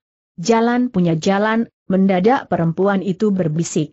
Kita tak usah pulang ke rumah kediaman, bagaimana berkunjung dulu ke Loteng Si Hunlo. Laki-laki itu nampak tertegun kemudian katanya, Hari sudah begini malam, masa kau hendak berlatih ilmu lagi? Perempuan itu menggeleng pelan. Tidak, aku masih ada urusan penting yang harus segera diselesaikan. Kalau hendak pergi, pergilah seorang diri, aku sudah lelah dengus lelaki itu tak sabar. Perempuan itu segera merendahkan suaranya dan berbisik, dengarkan perkataanku, tak usah berpaling, di belakang kita ada orang yang menguntil secara diam-diam, kalau kita langsung pulang. Maka ibaratnya memancing serigala masuk ke rumah, lebih baik kita menuju ke Sihunla saja agar lebih gampang membereskan dirinya. Mendengar perkataan tersebut, berubah hebat paras muka lelaki itu, agak gugup dia berbisik. Kau, kau tidak salah mendengar. Bagaimana mungkin aku bisa salah mendengar sahut perempuan itu sambil berkerut kening. Lelaki tersebut menjadi gugup bercampur kaget, dengan cepat dia berseru kembali. Tahukah kau siapa dia? Apa sebabnya mengejar kita perempuan itu menggeleng cepat? Belum kulihat orangnya, tapi bisa jadi dikarenakan buah cuko tersebut. Padahal daerah kabut beracun ini jauh dari keramaian manusia, bagaimana mungkin ada orang bisa sampai di sini? Aneh betul lelaki itu semakin tak tenang. Kemudian setelah berhenti sejenak, dengan nada gelisah khawatir dia berkata lagi. Mampukah kita mengurungnya di loteng Sihun Elo? Dapat, coba dengarkan dengan seksama, setelah masuk ke dalam loteng nanti, kau harus selekasnya masuk ke ruang semedi di atas loteng, apa pun yang akan terjadi di luar, kau tak usah munculkan diri. Buah cuko itu simpan saja dalam sakumu bila aku berhasil mengurung orang tersebut maka akan ku ketok pintu tiga kali sebagai kode, sampai waktunya kau boleh membukakan pintu bagiku, jangan lupa. Sembari berkata perempuan itu mengeluarkan sebiji buah cuko dari sakunya dan diserahkan pada seng lelaki untuk menyimpannya. Waktu itu Mautin Hang masih belum sadar kalau jejaknya sudah ketahuan, bahkan dia masih mempunyai perhitungan yang begitu matang sehingga makin dipikir semakin bangga hatinya, dia menganggap kejadian ini bagaikan itik panggang yang siap dihidangkan. Sementara itu sepasang laki perempuan yang berada di depan telah mempercepat langkahnya. Diam-diam Mautin Hang kegirangan, dia menganggap tujuannya sudah semakin mendekati di depan mata. Tak selang berapa saat kemudian, sepasang laki perempuan itu sudah berjalan keluar dari hutan. Berhubung keadaan medan di depan sana terlalu terbuka dan hampir tiada tempat untuk menyembunyikan diri maka dia mengambil keputusan untuk memperjauh kuntitanya. Kini sepasang laki perempuan tersebut sudah menelusuri sebuah jalan setapak dan memblok beberapa tikungan. Mautin Hang menunggu sampai seperminum teh lamanya kemudian baru menyusul dari belakang. Siapa tahu begitu sampai di tempat tikungan tersebut, aneh. Bayangan tubuh dari laki perempuan tersebut sudah lenyap tak berbekas. Kejadian ini kontan saja membuat Mao Tia Liong sangat cemas dia percepat larinya dan mengejar lebih jauh. Akhirnya ia berhasil menemukan kembali jejak dari laki perempuan itu, ternyata tersebut bukit di atas sebidang tanah yang luas berdiri sebuah perkampungan kecil, dalam perkampungan. Hanya terdapat sebuah bangunan loteng, ke sanalah laki perempuan itu pergi. Setelah mengetahui arah tujuan dari korbannya, Mao Tia Hang tidak terlampau terburu nafsu lagi, pertama-tama dia memperhatikan dulu keadaan di sekitar sana, kemudian memperhatikan pula situasi di sekitar perkampungan dengan cepat dirasakan bahwa tempat tersebut memang merupakan sebuah tempat persembunyian yang amat bagus. Maka dengan langkah lebar dia berjalan menuju ke arah perkampungan tersebut. Ketika mendekati perkampungan tersebut, tiba-tiba Mao Tin Hang meningkatkan kewaspadaannya. Dengan cepat dia menghentikan langkahnya kemudian mengernyitkan sepasang alis matanya. Ternyata dia menemukan kalau perkampungan tersebut dibangun aneh dan sangat istimewa perkampungan itu menempati daerah seluas berapa hektar, bila dibandingkan perkampungan biasa memang agak kecilan, tapi saat ini terutama di wilayah seperti ini. Mao Tin Hang merasa perkampungan tersebut cukup besar. Yang paling membuat hatinya gelisah adalah bangunan di dalam perkampungan tersebut. Di dalam perkampungan tersebut, Selain bunga dan pepohonan hanya sebuah bangunan loteng kecil yang indah dan mentereng saja berada di situ. Kalau dibilang kecil bentuknya memang betul, namun menterengnya mungkin tiada bandingannya di kolong langit ini. Baik atap, tiang maupun bahan bangunan lainnya boleh dibilang memakai bahan bangunan berkualitas tinggi. Padahal tempat ini tak lebih hanya sebuah wilayah terpencil di wilayah Biau yang dekat dengan kolam beracun. Siapa yang berdiam di situ? Dan siapa pula yang membangun perkampungan dengan bangunan loteng kecil itu? Jangan-jangan sepasang laki perempuan anjing itu? Tidak. Sudah pasti bukan mereka, mereka. HMM. Meskipun yang perempuan itu mempunyai jiwa pertukangan sayang, tidak kenal seni, apalagi yang laki-laki, dia tak lebih hanya seorang bajingan tengik yang kemaruk perempuan, harta dan kedudukan. Berdasarkan kemampuan kedua orang itu, jangan lagi berapa bulan atau tahun, separuh hidup mereka pun belum tentu sanggup membangun loteng semacam itu. Lantas siapa? Yaa, siapa? Mungkinkah di tempat ini hidup seorang jago berilmu tinggi? Mungkinkah sepasang laki perempuan anjing itu berjodoh dan diterima oleh tokoh sakti itu sebagai muridnya hingga mereka harus hidup mengasingkan diri di sana? Mungkin ya, Hal ini ada kemungkinannya. Ya betul, cukup berdasarkan buah cuko yang dibicarakan sepasang laki perempuan anjing itu, benda mestika yang merupakan mestika langka dalam dunia ini mana mungkin bisa mereka kenali dengan begitu saja? Kalau benda cukonya saja tidak kenal, bagaimana mungkin bisa dipetik? Baru aneh namanya kalau semuanya serba kebetulan dan mereka benar-benar bisa mendapatkan sebiji buah cuko. Berdasarkan dari dugaan itu, Mao Tin Hang menganggap dalam loteng itu pasti ada penghuninya, dan penghuni dalam loteng itu sudah pasti adalah seorang tokoh persilatan yang sudah lama mengasingkan diri dari keramaian dunia. Berpikir sampai di sini, Mao Tin Hang benar-benar tidak berani masuk, dia hanya bisa berdiri termangu-mangu di luar perkampungan saja.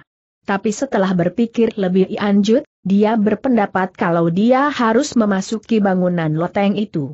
Oleh karena sekarang dia sudah terpojok sehingga maju tak bisa mundur pun tak dapat, hanya ada satu jalan ini saja yang dapat ditempuh, maka sambil menghimpun tenaga dalamnya bersiap sedia menghadapi segala kemungkinan yang tak diinginkan, dia memasuki perkampungan tersebut dengan berhati-hati sekali. Pintu perkampungan yang lama sudah rusak, kini telah diganti dengan dua lembar pintu baru. Kedua lembar pintu baru itu terbuat dari kayu, hal mana menambah kecurigaan dan kesangsian dalam hatinya, dia tidak habis mengerti manusia macam apakah pemilik perkampungan tersebut. Sudah berapa tombak dia memasuki perkampungan itu, namun tiada yang menghadang, tiada yang menegur, suasana masih tetap sunyi senyap tak kedengaran suara apa-apa. Tapi justru makin sepi suasananya, makin berhati-hati dia melangkah ke Dayam. Tiba di pintu loteng, pelan-pelan dia mendorong pintu tersebut ke belakang. Dalam dugaannya semula, pintu loteng itu pasti tertutup rapat-rapat, tapi bagaimana kenyataannya? Hanya sekali dorongan pelan saja, pintu itu sudah terbuka lebar. Mao Tin Hang berkerut kening, kemudian setelah berpikir sejenak akhirnya dia melangkah masuk ke dalam. Demi keselamatan sendiri di samping menyelidiki keadaan dalam bangunan loteng itu, Mao Tin Hang telah mengambil keputusan untuk memasukinya, maka setelah melangkah ke dalam dia segera menegur. Adakah seseorang di sini? Di dalam dugaannya, tak mungkin ada orang yang akan menjawab pertanyaannya itu, sebab entah siapakah pemilik bangunan loteng itu dan apa maksudnya membangun di sana, yang pasti dia tak ingin berjumpa dengan orang luar.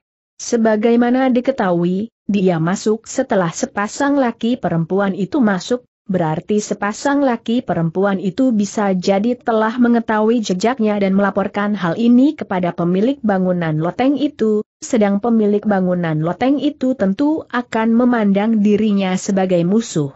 Siapa tahu apa yang kemudian terjadi sama sekali di luar dugaannya, baru selesai dia berbicara, suara jawaban sudah terdengar berkumandang. Jawaban itu muncul dari atas loteng. Mau Samcu, silahkan naik ke loteng. Begitu mendengar suaranya, Mao Tin Hang segera mengetahui siapa yang sedang berbicara, seharusnya dia tak perlu khawatir terhadap orang ini, tapi anehnya sekujur badannya bergetar keras begitu mendengar teguran mana. Sementara Mao Tin Hang masih tertegun, suara dari atas loteng telah berkumandang kembali. Bagaimana? Apakah Mao Samcu tak mau memberi muka? Terpaksa Mao Tin Hang harus menenangkan gejolak perasaannya, kemudian menyaut. Kukira siapa, ternyata Sunio dan, Sunio? Betul, orang yang berada di loteng itu memang Sunio dari Bukit Pemakan Manusia dulu, dari sini dapat disimpulkan kalau lelaki yang berada bersamanya tak lain adalah Hong Ite Hong.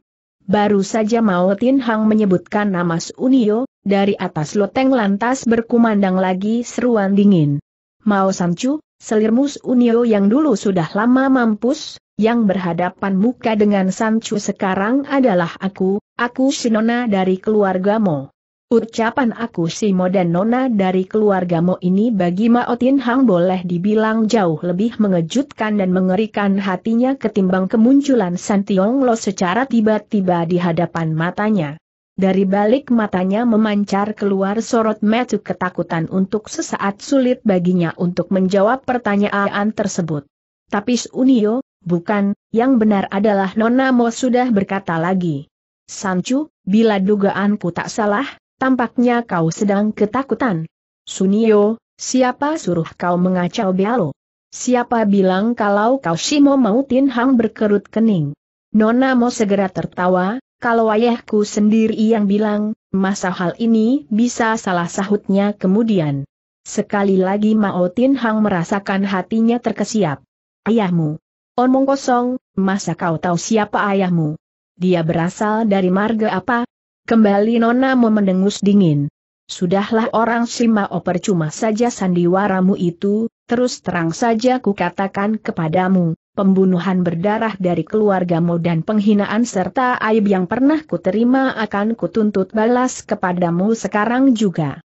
Diam-diam Mao Tin Hang menggigit bibirnya kencang-kencang, kemudian katanya, baiklah, terserah apa pun yang hendak kau ucapkan, tapi aku pun harus mengatakan pula kepadamu secara terus terang, kau tidak Shimo, Mo Kiao Jiu bukan ayahmu. Pelan-pelan Nona mau menampakkan dirinya dari tempat persembunyiannya, kemudian setelah tertawa dingin kemudian dia berkata, Aneh, aku toh belum pernah memberitahukan kepadamu kalau ayahku adalah Mo Kiao Jiu? Dari mana kau bisa tahu? Sekali Iagi Mao Tin Hang dibikin tertegun, tapi dengan cepat dia berkata lagi. Sekalipun kau tak pernah mengatakannya, namun aku hanya kenal dengan seorang saja yang Shimo. Cuuh titik nona memendesis penuh amarah mengapa tidak kau katakan bahwa cuma Mo Kiao Jiu seorang yang mempunyai ikatan saat ajalmu. Mau Tin Hang memutar sepasang biji matanya, memandang sekejap ke sana kemari, mendadak dia mengalihkan pembicaraan ke soal lain katanya. Jangan kita persoalkan dulu masalah tersebut Unio, Lohu ingin berjumpa dulu dengan pemilik loteng ini titik. Dengarkan baik-baik, aku bernama Nona Mo, Hardik Nonamo dengan marah. Tiba-tiba Mao Tin Hang melototkan sepasang matanya bulat-bulat, lalu bentaknya. Budak sialan, kau anggap aku sudah tak mampu membunuhmu sekarang juga? Nonamo tertawa dingin pula. Betul, aku tahu apa yang sedang kau pikirkan dalam hatimu, sekarang bukankah kau ingin mencari dulu siapa gerangan pemilik loteng ini kemudian baru membekuku di saat aku sedang tidak siap. Itu menurut pendapatmu, tukas Mao Tin Hong? Seandainya aku tak ingin melepaskan dirimu, betapapun cerdiknya kau dan Hong Ite Hong, waktu itu memangnya bisa kabur dari cengkeramanku? Mendengar ucapan mana Nona Mo segera tertawa terkekeh-kekeh. Heeh, heeh, wah, wah wah kalau begitu kau memang orang yang saleh bajik dan bijaksana. Kemudian setelah berhenti sejenak, dia melanjutkan kembali dengan suara keras. Mau Tin Hang Nona pun ingin memberitahukan kepadamu secara terus terang, Hong Ite Hang berada di dalam loteng ini cuma sayang. Mau Tin Hang sengaja berlaku laping dada, katanya kemudian sambil tertawa. Sudahlah, anggap saja kau memang Nona mau sekarang undanglah pemilik loteng agar munculkan diri. Asal kau dapat memasuki loteng ini, seperti apa yang telah kukatakan tadi, akan ku undang kau untuk naik ke atas loteng kata Nona Mopula sambil tertawa lebar. Oh oh oh, Mau Tin Hang mendongakkan kepalanya dan mulai memperhatikan keadaan di sekeliling bangunan loteng tersebut. Perabot dalam loteng itu amat sederhana tapi segala sesuatunya teratur sangat rapi. Anak tangga berada di sebelah kanan pintu masuk dan melingkar ke atas hingga berhenti di atas loteng sebelah kiri, oleh sebab itu bawah loteng terbentang sebuah ruangan meja baja yang antik, di belakang meja merupakan sebuah bangku panjang. Di sebelah kanan meja baja terdapat sebuah patung sastrawan yang terbuat dari kayu, tingginya seperti manusia biasa dan sedang duduk sambil membaca buku. Di sebelah kiri meja baja merupakan sebuah lampu duduk dengan lilin yang masih utuh, namun belum disulut. Pada dinding ruangan terdapat lukisan-lukisan orang kenamaan. Di sebelah kanan ruangan, kecuali terdapat anak tangga yang melingkar pada bagian depan, di bagian belakang terdapat sebuah almari buku yang sangat besar, selain itu terdapat pula sebuah rak antik yang diletakkan dekat dinding berseberangan dengan pintu masuk. Mao Tin Hang mencoba untuk memperhatikan anak tangga melingkar tersebut, nampaknya bukan terbuat dari dari kayu namun semuanya terbuat amat indah dan artistik. Mao Tin Hang berdiri di pintu masuk bawah loteng yang tak jauh letaknya dari loteng bagian atas, dia hanya sempat melihat bagian kiri dan kanannya, sedangkan bagian atasnya sama sekali tidak terlihat. Walaupun demikian dia dapat melihat tiga bagian lainnya, di sebelah samping berupa jendela, di balik pintu tentu saja kamar tidur atau mungkin juga kamar baka atau kamar tamu. Kalau dilihat dari keadaan bangunan tersebut, tampaknya tiada jebakan apa pun. Sementara dia masih termenung, Nona Mo telah berkata lagi, bagaimana? Apakah segala sesuatunya telah terlihat jelas Mao Tin Hang segera tertawa. Ehm, boleh dibilang tempat ini merupakan sebuah loteng yang cukup indah. Baru saja dia selesai berkata, Nona Mot telah mengucapkan kata-kata yang menggidikan hati. Benar, tentu saja boleh dibilang sebuah loteng yang sangat indah, tapi aku pikir lebih cocok kalau tempat ini dinamakan uang raja akhirat atau sarang naga gua harimau, sebab nama tersebut jauh lebih cocok. Mau Tin Hang segera mendengus dingin, Pengetahuan lohu sudah cukup luas, gertak sambalmu itu tak akan bisa membuat hatiku keder. Tentu saja Nona mau segera menimpali lagi dengan suara amat dingin, itulah sebabnya silahkan Mao Toa Sancu naik ke atas loteng. Saat ini Mao Tin Hang sudah cukup berpengalaman, tentu saja dia tak sudi tertipu dengan begitu saja, Sambil tertawa dingin tiada hentinya dan menggeleng, lalu sambil menunjuk ke arah kursi di belakang meja katanya. Loh sudah letih, tolongkah sampaikan kepada pemilik loteng ini agar dia saja yang turun sendiri. Mendadak Nona Mo tertawa cekikikan haa haa betul-betul seorang pemberani, beginikah macam Sancu dari bukit pemakan manusia. Walaupun panas hatinya namun Mao Tin Hang masih berusaha untuk menahan sindiran tersebut, dengan cepat dia tertawa hambar. Sudah, terserah apa pun yang hendak kau katakan, pokoknya Lohu akan menunggu kedatangan pemilik loteng di sini saja. Selesai berkata dia lantas melangkah ke depan dan menuju ke belakang meja baka itu. Mendadak Nona mau berseru lagi sambil tertawa terkekeh-kekeh, Mao Samcu, beranikah kau duduk di kursi itu di saat dia mengucapkan perkataan tersebut persis di saat Mao Tin Hong hendak duduk. Kontan saja iblis tua ini terkesiap dan segera menghentikan langkahnya di depan patung arca di atas meja baka tersebut. Nona Mo yang berada di ambang loteng segera mengalihkan pokok pembicaraannya setelah menyaksikan keadaan tersebut.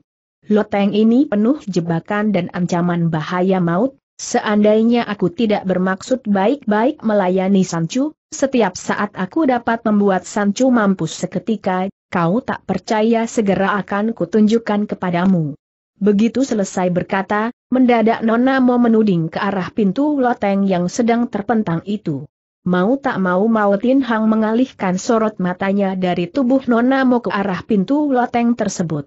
Akan tetapi pintu loteng itu masih terbuka lebar dan sama sekali tiada perubahan apa pun. Melihat hal ini, Mau Tin Hang segera tertawa terbahak-bahak. Haah, haah, Cukup, cukup sudah Unio, permainan. Macam ini belum mempan untuk membohongi diriku. Siapa tahu belum habis dia berkata, mendadak. Blaam.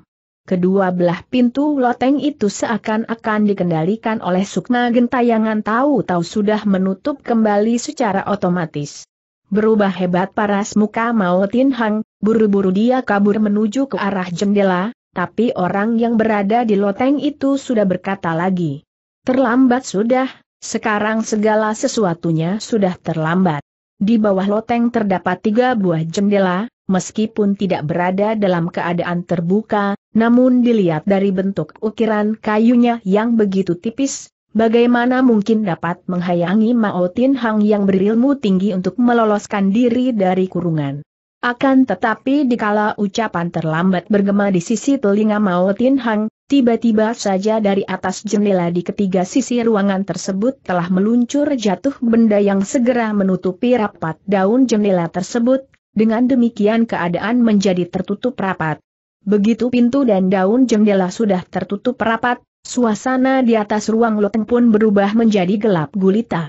Saat ini Mao Tin Hang benar-benar keder dan pecah nyalinya, tubuhnya segera menyelinap ke depan, dan berdasarkan daya ingatannya ketika memasuk pintu gerbang tadi, dia mencoba untuk meraba pintu kayu tersebut. Apa yang kemudian tertera olehnya membuat gembong iblis ini semakin terkesiap, siapa bilang pintu tersebut terbuat dari kayu? Ya, siapa yang bilang? Apa yang tersentuh ternyata tak lain adalah pintu gerbang yang terbuat dari baja asli. Kalau toh pintunya sudah begini, tak bisa disangka lagi demikian pula dengan daun jendelanya. Mao Tin Hang benar-benar merasa amat menyesal, tapi kalau nasi sudah menjadi bubur, apa pula gunanya menyesal. Tiba-tiba Nona Mo yang berada di atas loteng berseru kembali, suasana dalam loteng gelap gulita dan bukan tempat yang cocok untuk menerima tamu, meski kau harus mati, aku akan membunuhmu di tempat yang terang benderang, agar kau mati tanpa menyesal, kemarilah pasang lentera. Begitu ucapan pasang lentera bergema, benar-benar ketemu setan di siang hari bolong, lampu lentera yang berada di tepi meja baka tersebut secara otomatis telah menyulut sendiri sehingga suasana dalam ruangan berubah menjadi terang benderang. Nyali Mao Tin Hang yang begitu besar pun tak urung dibikin terperanjat juga setelah menyaksikan kejadian ini, tanpa terasa dia mundur selangkah dari posisi semula. Nona Mo yang berada di atas loteng kembali menyindir. Sayang sekali Sancu agak terlambat untuk mundur dari situ, sekarang kau sudah tiada jalan lagi untuk mengundurkan diri dari tempat ini. Sambil menggigit bibir menahan diri, Mao Tin Hang segera berseru. Perempuan celaka, kau anggap dengan mengandalkan pintu baja dan daun jendela baja, maka kau sudah sanggup untuk menghalangi kepergian Sancu? Oh tentu saja tidak, loteng yang kau tempati sekarang seluruhnya terbuat dari baja asli, jawaban Nona Mo ternyata jauh hebat. Mao Tin Hang menjadi berdiri bodoh setelah mendengar perkataan ini, sekarang dia mulai menyesali diri sendiri, dia menyesal mengapa hari ini dia telah melakukan perbuatan bodoh. Nona Mo tidak berdiam sampai di situ saja, kembali dia berkata, Mao Sancu, sebenarnya kau hendak naik ke atas loteng atau tidak? Dalam keadaan seperti ini bagaimana mungkin Mao Tin Hang bersedia menaiki loteng tersebut lagi? Sudah barang tentu pertanyaan dari Nona Mo ini tidak memperoleh jawaban. Maka Nona itu pun mendengus dingin berulang kali, kemudian tahu-tahu bayangan tubuhnya sudah lenyap dari pandangan. Lewat beberapa saat kemudian, Nona Mo baru kedengaran berbicara lagi. Mau Samcu kalau toh kau tak berani menaiki loteng ini, maka majikan pemilik loteng ini pun tak nanti akan turun untuk bertemu dengan kau, maaf aku pun tak bisa menemani kau lebih jauh, terpaksa aku akan membiarkan kau berada seorang diri di bawah loteng. Sebelum berpisah, memandang pada hubungan kita selama banyak tahun, aku perlu mengucapkan beberapa hal kepadamu. Moga-moga saja kau dapat mempergunakan waktu senggang ini untuk memikirkannya, tapi jika kau segan untuk mendengarkan lebih baik anggaplah perkataanku ini sebagai angin berlalu. Setelah berhenti sejenak Nona menghela napas dan berkata lebih jauh. Pertama, di sekitar ruang bawah loteng itu terdapat racun jahat, racun itu tak berwarna maupun berbau atau berasa, orang yang kena cunan pun tak akan merasakan gejala apa-apa, oleh sebab itu kuanjurkan kepadamu jangan sembarangan menyentuh semua barang yang berada di sini. Kedua, di dalam ruang bawah loteng ini tiada bahan makanan, tapi untung sekali masih ada air yang mengalir di sini, jadi kau bisa memakai air itu untuk menghilangkan dahaga, cuma apakah air tersebut beracun atau tidak, maaf kalau aku tak dapat memberi penjelasan kepadamu.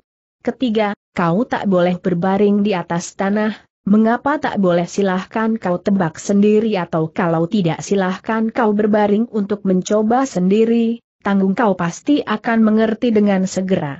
Keempat, lentera dan lilin terbatas sekali persediaannya di sini, walaupun sudah disulut sekarang namun kau tak boleh memadamkannya, kecuali kau dapat memadamkan lentera tersebut tanpa menimbulkan setitik asap pun. Kelima, kau jangan lupa kalau setiap waktu setiap detik masih ada aku yang selalu ingin membunuhmu untuk membalas dendam, oleh sebab itu kau harus selalu menjaga semangat dan kekuatanmu untuk bersiap-siap menghadapi sergapanku.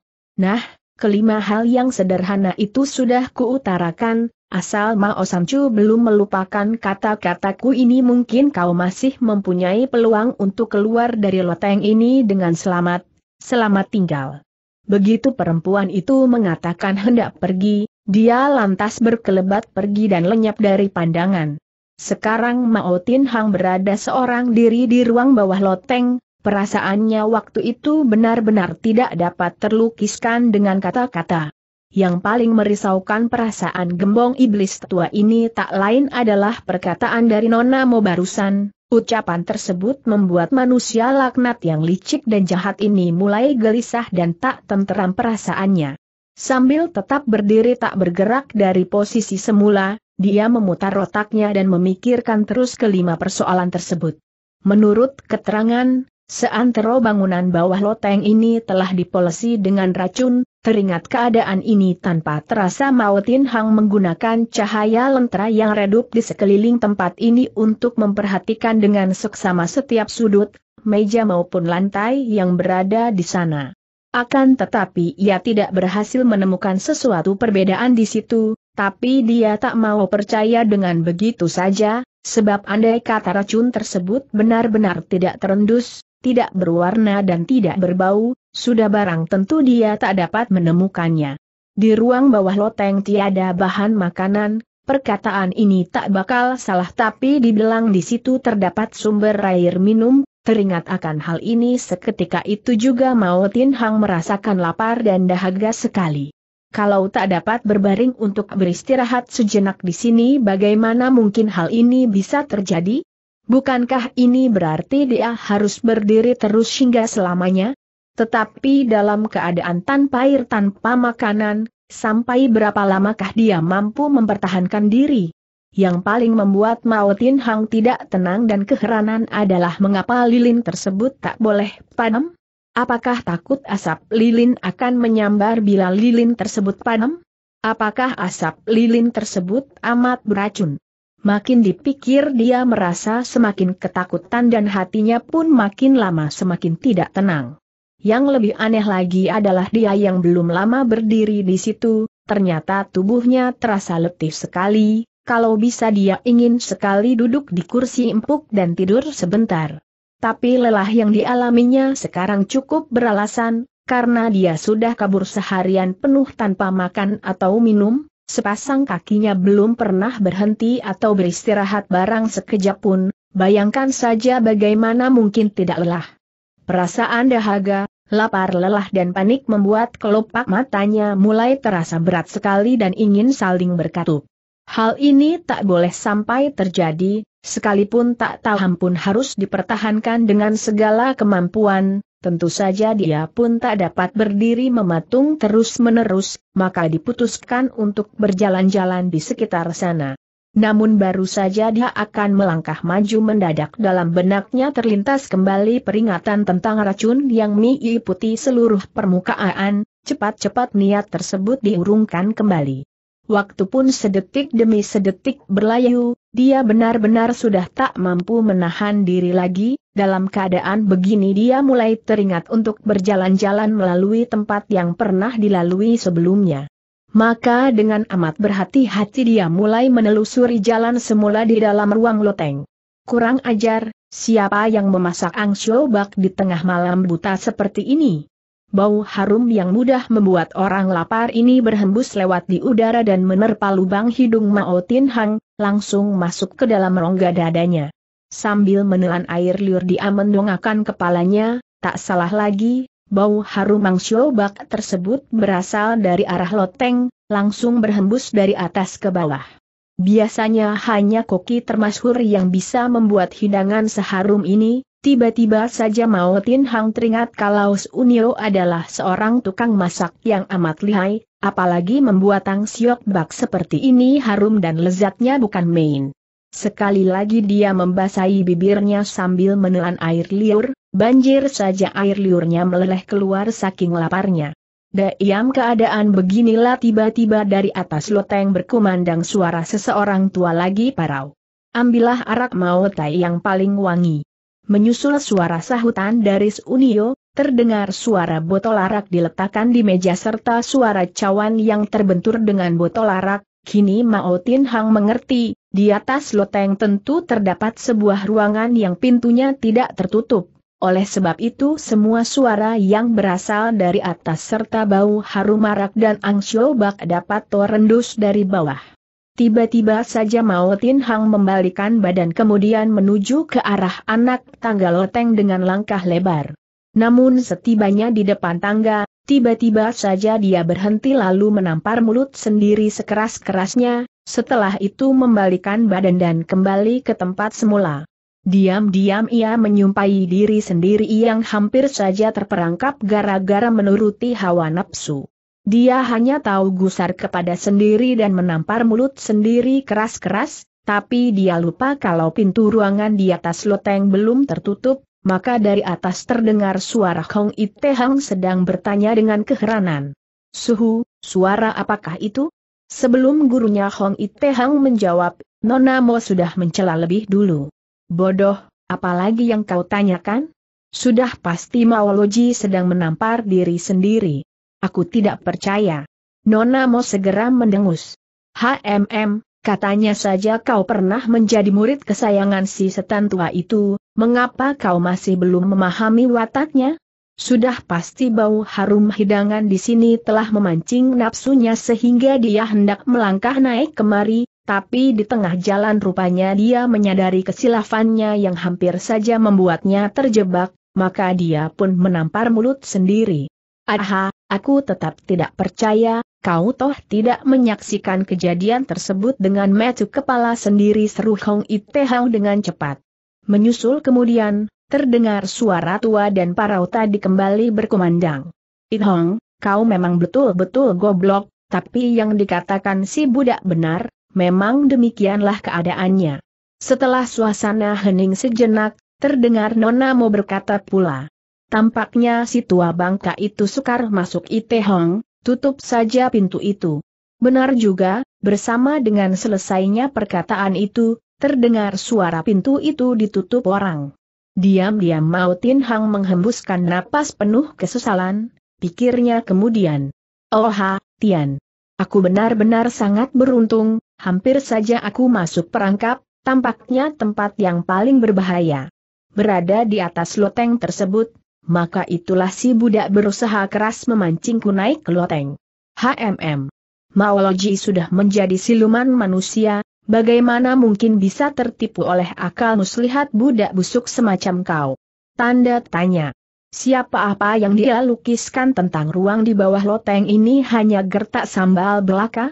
Berpikir sampai di situ dia pun menemukan sebuah akal, lalu sambil menghimpun tenaga dalamnya dia mengebaskan tangannya ke atas permukaan tanah, Lapisan debu yang menempel di situ segera menyambar ke mana-mana tak selang berapa saat kemudian dia sudah tiba di belakang meja baka. Memandang kursi di belakang meja baka itu dia tertawa dingin tiada hentinya, kemudian dengan ilmu Leng Xiu Siwu, menghisap benda di udara kosong, disedotnya kursi tadi sehingga terbalik, kemudian dia mengebaskan tangannya menyapu bersih permukaan kursi sebelum duduk di atasnya. Pada mula pertama duduk di kursi itu, hatinya masih berdebar keras karena khawatir terjadi suatu peristiwa, akan tetapi setelah dilihatnya tiada perubahan atau gerak-gerik yang terjadi, Mao Tin Hang baru merasa lega sambil tertawa geli dia lantas bangkit berdiri dan berjalan menuju ke arah sumber air. Di endusnya air yang menetes keluar lewat situ, Terasa air itu memang mengandung sesuatu bau tapi setelah dipikirkan lebih seksama disimpulkan kalau air tersebut tak lain bau lembab tanah belaka. Kendati pun demikian, dia tak berani bertindak gegabah, sambil mendongakkan kepalanya dia mencoba untuk memperhatikan keadaan di sekeliling sana. Apa yang kemudian terlihat, membuatnya dia tertawa bangga. Rupanya dia telah menyaksikan sejilid kitab kuno terletak di atas meja baka, di balik kitab itu terdapat dua batang batas buku yang terbuat dari gading gajah.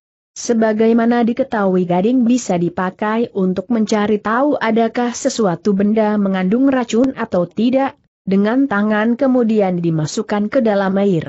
Setelah dicoba dan dicoba berulang kali, terlihat kalau air itu sana sekali tidak mengandung racun. Senyum lebar mulai menghiasi wajah Mao Tin Hang, dia telah mengambil keputusan setelah meneguk beberapa teguk air, dia akan beristirahat di atas kursi, tapi sebelum tidur dia harus melakukan beberapa buah pekerjaan lebih dulu. Dia ambilnya sebuah teko tembaga yang terletak di meja dan diam-diam dibawanya menuju ke mulut anak tangga, kemudian setelah meletakkannya di situ, dia balik sambil tersenyum. Teko tembaga tersebut diletakkan persis di mulut anak tangga, dengan demikian bila ada orang turun dari loteng dan orang itu bertindak kurang waspada niscaya kakinya akan terperosok masuk ke dalam teko tembaga tersebut. Suara terbenturnya teko oleh kaki akan segera menyadarkan dia dari tidurnya dengan sendirinya dia pun tak sampai tersergap oleh serangan lawan. Sekembalinya ke kursi kembali, satu ingatan melintas dalam benaknya. Aha, tidak bisa begini kalau lentera itu tetap berada dalam keadaan terang benderang berarti orang yang berada di loteng bisa melihat teko tembaga tersebut Yaa, betul lentera itu harus dipadamkan, aku harus melakukannya begitu setelah minum air, kemudian memadamkan lentera dan beristirahat sebentar.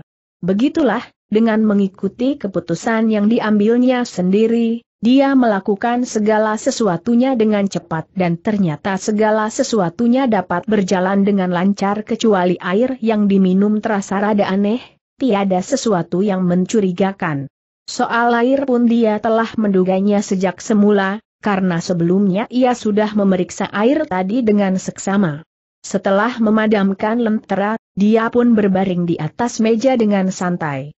Tapi, Tiba-tiba saja dia merasakan sesuatu yang tidak beres, mengapa kepalanya terasa berat, pusing dan seperti mengantuk sekali. Karena lapar? Tidak, tidak benar demikian. Sekarang dia baru mulai menduga jangan-jangan di balik air yang diteguknya tadi ada hal-hal yang kurang beres, dia pun mengerti bahwa ketidakberesan itu terletak dalam soal apa sebab gading hanya bisa dipakai untuk mengetes ada tidaknya racun, tapi tak dapat dipakai untuk mengetahui apakah air tersebut mengandung obat pemabut atau tidak. Walaupun demikian Mao Tin Hang sangat mengerti tentang obat pemabok itu, sebab dialah yang ahli membuat obat pemabok seperti ini. Seperti apa yang dikatakan sebagai sunio, obat pemabok yang tidak berwarna, tidak berbau maupun berasa seharusnya dengan tenaga dalam yang dimilikinya, dia mampu mendesak obat pemabok tersebut ke suatu bagian dari perutnya sebelum obat itu mulai bekerja, kemudian mendesaknya keluar melalui pori-pori tubuhnya. Tapi kali ini dia tak sanggup berbuat demikian, Alasannya karena obat tersebut adalah obat yang sengaja dia ciptakan karena dulu dia mendapatkan bahwa obat pemabuk biasa mempunyai ciri semacam ini, itulah sebabnya dia sengaja menciptakan obat pemabuk yang tak bisa dipunahkan bila tidak menelan obat penawarnya. Makin lama kepalanya terasa makin berat, lebih berat sekali. Santiong Lo serta Bauji, Hao Ji serta Nona Kim sekalian serta Jin Jin dan sekalian dayangnya yang melakukan pengepungan akhirnya berjumpa satu dengan lainnya di tepi kolam. Masing-masing rombongan telah melakukan pencarian yang teliti dan seksama di setiap jengkal tanah yang berada di sekeliling situ, akan tetapi bayangan tubuh dari Mao Tin Hang belum juga ditemukan. Untuk memecahkan teka-teki ini rasanya hanya ada satu jalan saja, yakni di dalam keadaan terdesak Mao Tin Hang menjadi nekat dengan memasuki wilayah yang diliputi kabut beracun. Pertama-tama Jin Jin yang berkata lebih dulu, ujarnya kepada Santiong Lo. Ji Sao Hiap, tampaknya dia telah memasuki wilayah kabut beracun. Sebelum Santiong Lo sempat menjawab, Mo Kiao Jiu telah berkata pula. Wancu, menurut pendapat Lohau, belum tentu demikian keadaannya. Oh, oh, kalau begitu bagaimanakah menurut pendapat Tai Hiap tanya Jin Jin. Wancu sudah cukup lama berpisah dengan bajangan tua Shimao ini mungkin kau belum begitu jelas memahami watak serta perbuatan dari bajingan tua ini menurut apa yang ku ketahui sebelum keadaan benar-benar menjadi buntu, mustahil bajangan tua itu akan mencari kematian buat diri sendiri. Jin Jin tertawa. Motai Hiap kau tidak tahu, walaupun wilayah kabut beracun penuh dengan ancaman mara bahaya sehingga setiap orang yang kurang teliti bisa mengakibatkan kematian tapi aku percaya dia pasti mempunyai care untuk mengatasi ancaman tersebut. Jadi menurut pendapat Tuan Chu, di dalam wilayah kabut beracun tersebut masih terdapat daerah yang aman tanya San Tiong Lo sambil berpaling ke arah Jin Jin. Jin Jin segera mengangguk. Benar, walaupun aku tidak mengetahui keadaan yang sesungguhnya, tapi kalau berbicara tentang hal ini. Maksud Tuan Chu, kau hanya mengetahui ada kemungkinan tersebut namun tidak mengetahui secara lebih mendalam selama Kiao Jiu dengan cepat. Betul. Tiada orang yang pernah memasuki daerah tersebut, tapi aku masih ingat ketika mendiang ayahku masih hidup dulu, tanpa sengaja beliau pernah pun berkata, meskipun daerah tersebut penuh dengan ancaman bahaya maut, bukan berarti suatu daerah yang mematikan. Mokiao Jiu segera menggelengkan kepalanya berulang kali. Lohu mengerti sekarang, kalau toh demikian adanya, Lohu berani memastikan bajangan tua Shimao itu sudah pasti tak akan memasuki wilayah berkabut beracun itu untuk menyerempet ancaman bahaya maut. Tapi kenyataannya kepungan kita yang begitu ketat pun tidak berhasil menemukan jejaknya, seru Jin Jin dengan kening berkerut. Mendadak Mo Kiao Jiu seperti menyadari akan sesuatu, dengan wajah berubah hebat dia segera menyela. Tahukah Wan Chu, apakah di tempat ini terdapat tempat lain yang bisa dipakai olehnya untuk meloloskan diri?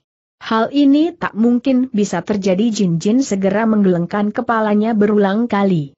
Mo Kiao Jiu tersenyum. Bukankah Wan Chu pernah berkata tadi bahwa di dalam wilayah daerah berkabut racun itu besar kemungkinan ada daerah yang aman? Jin Jin segera mengangguk. Ya kemungkinan ini memang ada, tapi hal terhebat hanya dapat dijumpai sukar diminta apalagi siapakah yang bisa begitu kebetulannya.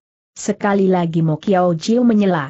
Loh justru mengetahui suatu tempat yang termasuk daerah kabut beracun, tapi tempat itu justru merupakan tempat yang paling aman di wilayah kabut beracun itu, siapa tahu secara kebetulan bajangan tua Shimao itu kabur ke situ. Oh oh oh, oh kalau begitu mari kita segera berangkat ke sana, seru Santiong Lo. Jin Jin yang pintar segera dapat menangkap ucapan di balik ucapan tersebut, katanya dengan cepat. Mao Tai Hiap maaf kalau aku ingin numpang bertanya mengapa kau bisa begitu hafal dengan daerah sekitarnya tempat ini? Wan Chu sahut Mo Kiao Jiu sambil menundukkan kepalanya rendah-rendah. Seharusnya aku masih termasuk setengah orang suku Biao. Kendati pun Mo Tai Hiap berasal dari suku Biao, tapi kecuali kau pernah berkunjung kemari, kalau tidak mustahil kau bisa mengenal dengan begitu jelas tentang kebon Pek Hoawanku ini. Mo Kiao Jiu memandang sekejan ke arah Santiong Lo, sementara mulutnya tetap membungkam dalam seribu bahasa. Dengan perasaan keheranan Santiong Lo segera bertanya, Mo Tai Hiap, kesulitan apa sih yang kau hadapi? Mo Kiao Jiu menghela napas panjang. Aai, ada satu hal sudah lama sekali loh rahasiakan. Sang Kuanki yang telah kehilangan tenaga dalamnya segera berteriak sesudah mendengar perkataan itu. Bagus sekali, rupanya persoalan apa pun telah kau rahasiakan, kalau toh begitu mengapa tidak kau utarakan secara belak-belakan sekarang? Dengan gusar Mo Kiao Jiu melotot sekejap ke arah Sing Kuanki, kemudian tidak menggubris dirinya lagi. Sikap Santiongi amat tenang, pelan-pelan ia berkata, seandainya Motai Hiap merasa ada sesuatu yang kurang leluasa. Untuk diutarakan, lebih baik tak usah dibicarakan lagi. Mokiao Jiu menggeleng. Bukan masalah leluasa atau tidak, hanya persoalan ini sudah berlangsung banyak tahun yang silam, bukan cuma panjang ceritanya lagi pula tiada artinya sekarang, Aku hanya akan membicarakan soal yang terpenting saja. Kalau memang ingin diucapkan, cepat-cepatlah disampaikan, tidak tahan Sang Ki menyela. Kembali Mo Kiao Jiu melotot sekejap ke arah Sang Kuan Ki, kemudian baru ujarnya. Dulu, oleh karena suatu persoalan, aku pernah berdiam selama dua tahun di dalam wilayah kabut beracun ini dan mendirikan suatu bangunan aneh untuk seseorang. Mendengar ucapan ini, dengan penuh curiga Jin Jin segera berseru. Ah, Met ada kejadian semacam INL lalu, bagaimana Karomo Tai Hiap memasuki daerah kebun beracun itu? Mo Kiao Jiu tertawa jengah. Masalah bagaimana caraku dapat melalui tempat kalian dengan selamat sampai di wilayah kabut itu, untuk sementara tak usah kita bicarakan tapi Lohu berjanji setelah berhasil menangkap Mao Tin Hang nanti, pasti akan kubeberkan semua cerita ini sejelas-jelasnya. Jin Jin memang seorang wanita yang berjiwa besar, dia segera mengangguk. Baik, kita tetapkan dengan sepatah kata ini. Mukiao Jiu manggut-manggut, katanya lebih jauh. Di dalam perkampungan yang kubangun itu terdapat sebuah bangunan loteng yang sangat istimewa, rahasia ini dibilang hanya diketahui oleh lohu ayah dan anak berdua. Di manakah anakmu? Oh, oh, oh, dahulu dia pernah berdiam di bukit pemakan manusianya bajingan atau Shimao, sekarang. Motai Hiap, apakah putrimu adalah Sunio seperti menyadari sesuatu Santiong Lo segera berseru. Mokiao Jiu menundukkan kepalanya semakin rendah. Yaa, benar memang dia, anak yang bernasib jelek. Dia dan Hong Ite Hang telah kabur dari bukit pemakan manusia, sampai sekarang kabar beritanya tidak diketahui. Kemudian setelah berhenti sejenak, dengan mata berkedip dia melanjutkan. Motai Hiap kau maksudkan putrimu juga tahu tentang bangunan loteng itu? Ya, dia tahu bahkan memiliki sebuah peta jalan. San Tiong Lo tidak berbicara lagi, tapi dia justru sudah memahami duduknya persoalan. Setelah termenung beberapa saat, Jin Jin bertanya pula secara tiba-tiba. Motai Hiap, menurut pendapatmu, mungkinkah Mao Tin Hang telah melarikan diri ke bangunan tersebut? Pelan-pelan Mo Kiao Jiu mengangguk. Seandainya nasibnya sedang baik, kemungkinan tersebut tetap ada. Sambil menggertak gigi Bauji berseru. Mari berangkat kita lihat apakah dia memang benar-benar di situ, Motai Hiap harap membawa jalan. Mokiao Jiu tidak menolak, sambil manggut-manggut dia beranjak pergi lebih dulu. Maka kawanan jago lainnya segera mengikuti pula di belakang mereka. Kurang lebih sepertanak nasi kemudian, Mokiao Jiu segera berhenti sambil berkata, Nah, sudah sampai, selewatnya jalan setapak tersebut akan terlihat perkampungannya. Ahm San Tiong Lo mengangguk, hari sudah terang tanah, sebelum Fajar menyingsing lebih baik kita kepung perkampungan ini rapat-rapat, tapi kalian jangan terlalu menyerempet bahaya, lebih baik penggeledahan dilakukan setelah terang tanah nanti. Semua orang mengangguk dan menelusuri jalan setapak tersebut mendekati bangunan rumah itu. San Tiong Lo, Nona Kim, Jin Jin dan Mo Kiao Jiu berjalan di depan, menanti semua orang telah mengurung bangunan rumah itu, tiba-tiba Mo Kiao Jiu menarik ujung baju San Tiong Lo sambil berkata, Ji Sao Hiap, harap ikut aku sebentar, ada persoalan yang hendak ku bicarakan denganmu. Sebelum Masehi Tiong Lo mengangguk dan mengikuti Mo Kiao Jiu menyingkir dari situ. Nona Kim ingin turut ke situ namun Jin Jin segera menghalanginya segera berkata, Nona mereka ada persoalan pribadi yang hendak dibicarakan. Persoalan pribadi? Masa kaum lelaki pun mempunyai persoalan pribadi tanya Nona Kim agak tertegun. JLN Jin segera tertawa cekikikan. Tentu saja ada, persoalan pribadi kaum pria, mungkin masih jauh lebih banyak ketimbang wanita. Dengan perasaan tidak habis mengerti Nona Kim menggeleng, Kemudian diliriknya sekejap Santiong Lo yang berada di sisinya dengan matanya yang jeli. Sementara itu, Santiong Lo telah memandang sekejap sekeliling tempat itu, setelah yakin kalau tak ada orang yang mengikuti, dia lantas berbisik. Motai Hiap kau ada urusan apa? Dengan suara setengah berbisik Mo Kiao Jiu berkata, Jisau Hiap, sekarang di dalam loteng itu ada orangnya. Oha, dari mana kau bisa tahu?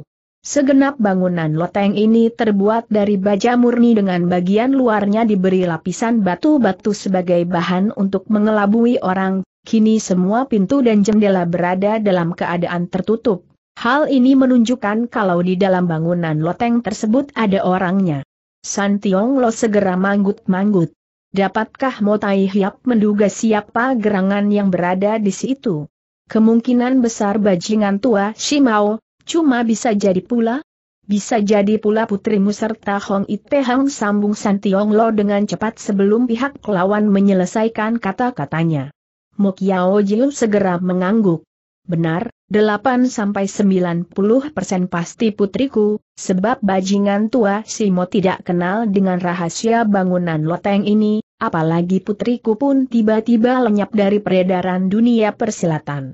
Motai Hiap, Selain daripada itu masih ada satu kemungkinan lagi, selas Santiong Lo untuk kesekian kalinya.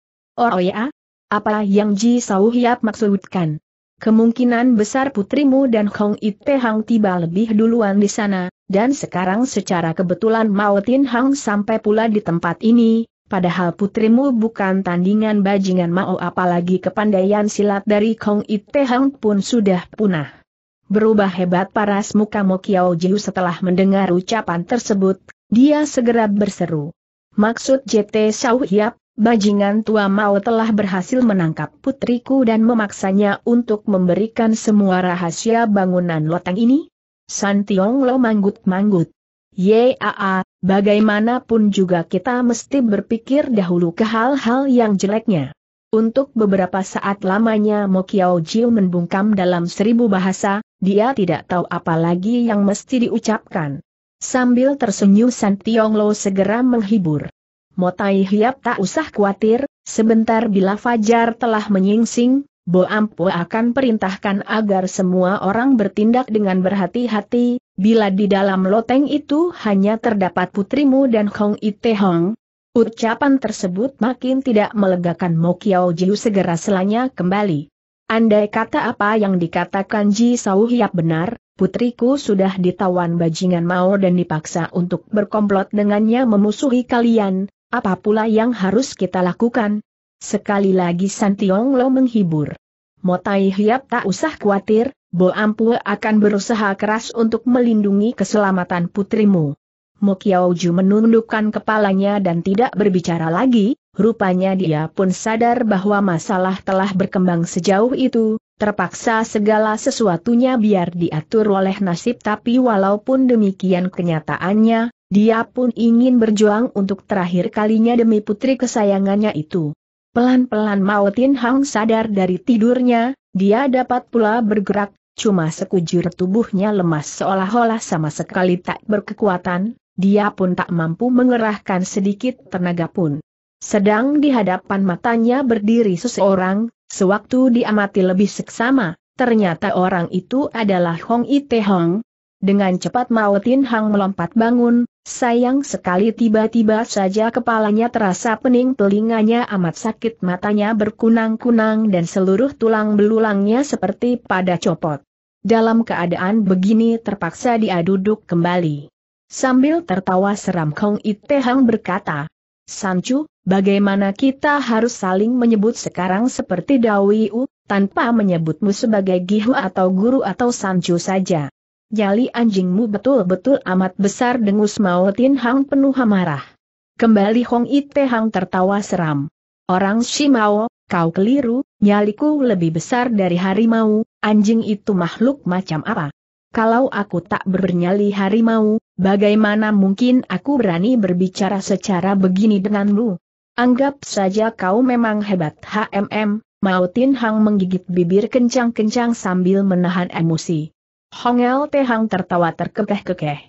Sudahlah tak usah marah, dengan kecerdasanmu, bukan saja sekarang tak boleh marah bahkan harus menjawab pertanyaanku dengan sopan dan jujur, tentunya kau sudah memahami maksudku bukan? Tergerak hati Mao Tin Hang sesudah mendengar ucapan tersebut, cepat dia berseru. Aku tidak begitu mengerti katanya. Tiba-tiba Hong Ite Hang menghela napas panjang, katanya lebih jauh.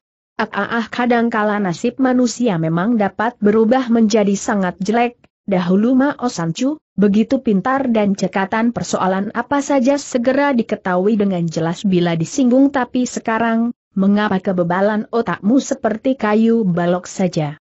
Tanda tanya sambil berusaha keras menahan hawa amarah yang membara. Mao Tin Hang berkata, Bila kau ingin berbicara, utarakan saja dengan berterus lerans, atau kalau tidak, lebih baik jangan banyak mulut. Oh seharusnya Sancu mengerti, kau telah menelan obat pemabuk buatanmu sendiri, bila tiada obat penawarnya maka kau tak akan sadar, dan sekarang kau dapat sadar kembali, tentu hal ini disebabkan kau telah menelan obat penawarnya. Mao Tin Hang tertawa dingin. Betul, aku memang sudah menelan obat penawar bahkan kau yang memberikan kepadaku. Huang Ite Hang segera tertawa terbahak-bahak. Haa haa bukankah hal tersebut sudah betul? Betul sekali iya Gi, Mao Tin Hang tertawa dingin. Aku rasa belum tentu demikian, aku ingin bertanya kepadamu, kalau toh kau sudah memberi obat penawar kepadaku dan menyadarkan kembali diriku, mengapa pula secara diam-diam kau mencekokkan pil pelemas tulang kepadaku? Huang Ite Hang tertawa licik, diseretnya sebuah kursi dan duduk di depan Mao Tin Hang, mereka dipisahkan oleh meja bakat tersebut sehingga mirip sekali sepasang teman lama yang saling bertemu. Setelah duduk pelan-pelan Hong Ite Hang baru berkata, Sancu, kau amat lihai, ternyata kau dapat menduga kalau aku telah memberi pil pelemas tulang kepadamu. Mao Tin Hang mendengus tanpa menjawab. Kembali Hong Ite Hang berkata, Padahal Sancu, itu belum terhitung seberapa, aku mempunyai obat penawarnya. Bagus sekali mau tak mau Mao Tin Hang harus membuka suara. berikan obat penawarnya kepadaku. Dengan hormat sekali Kong Ite Hang mengiyakan, kemudian katanya lagi sambil tertawa. Sancu, adilkah bila aku berbuat begini? Tak terlukiskan rasa mendongkol Mao Tin Hang menghadapi keadaan seperti ini, saking gemasnya dia sampai menggertak gigi tiada hentinya.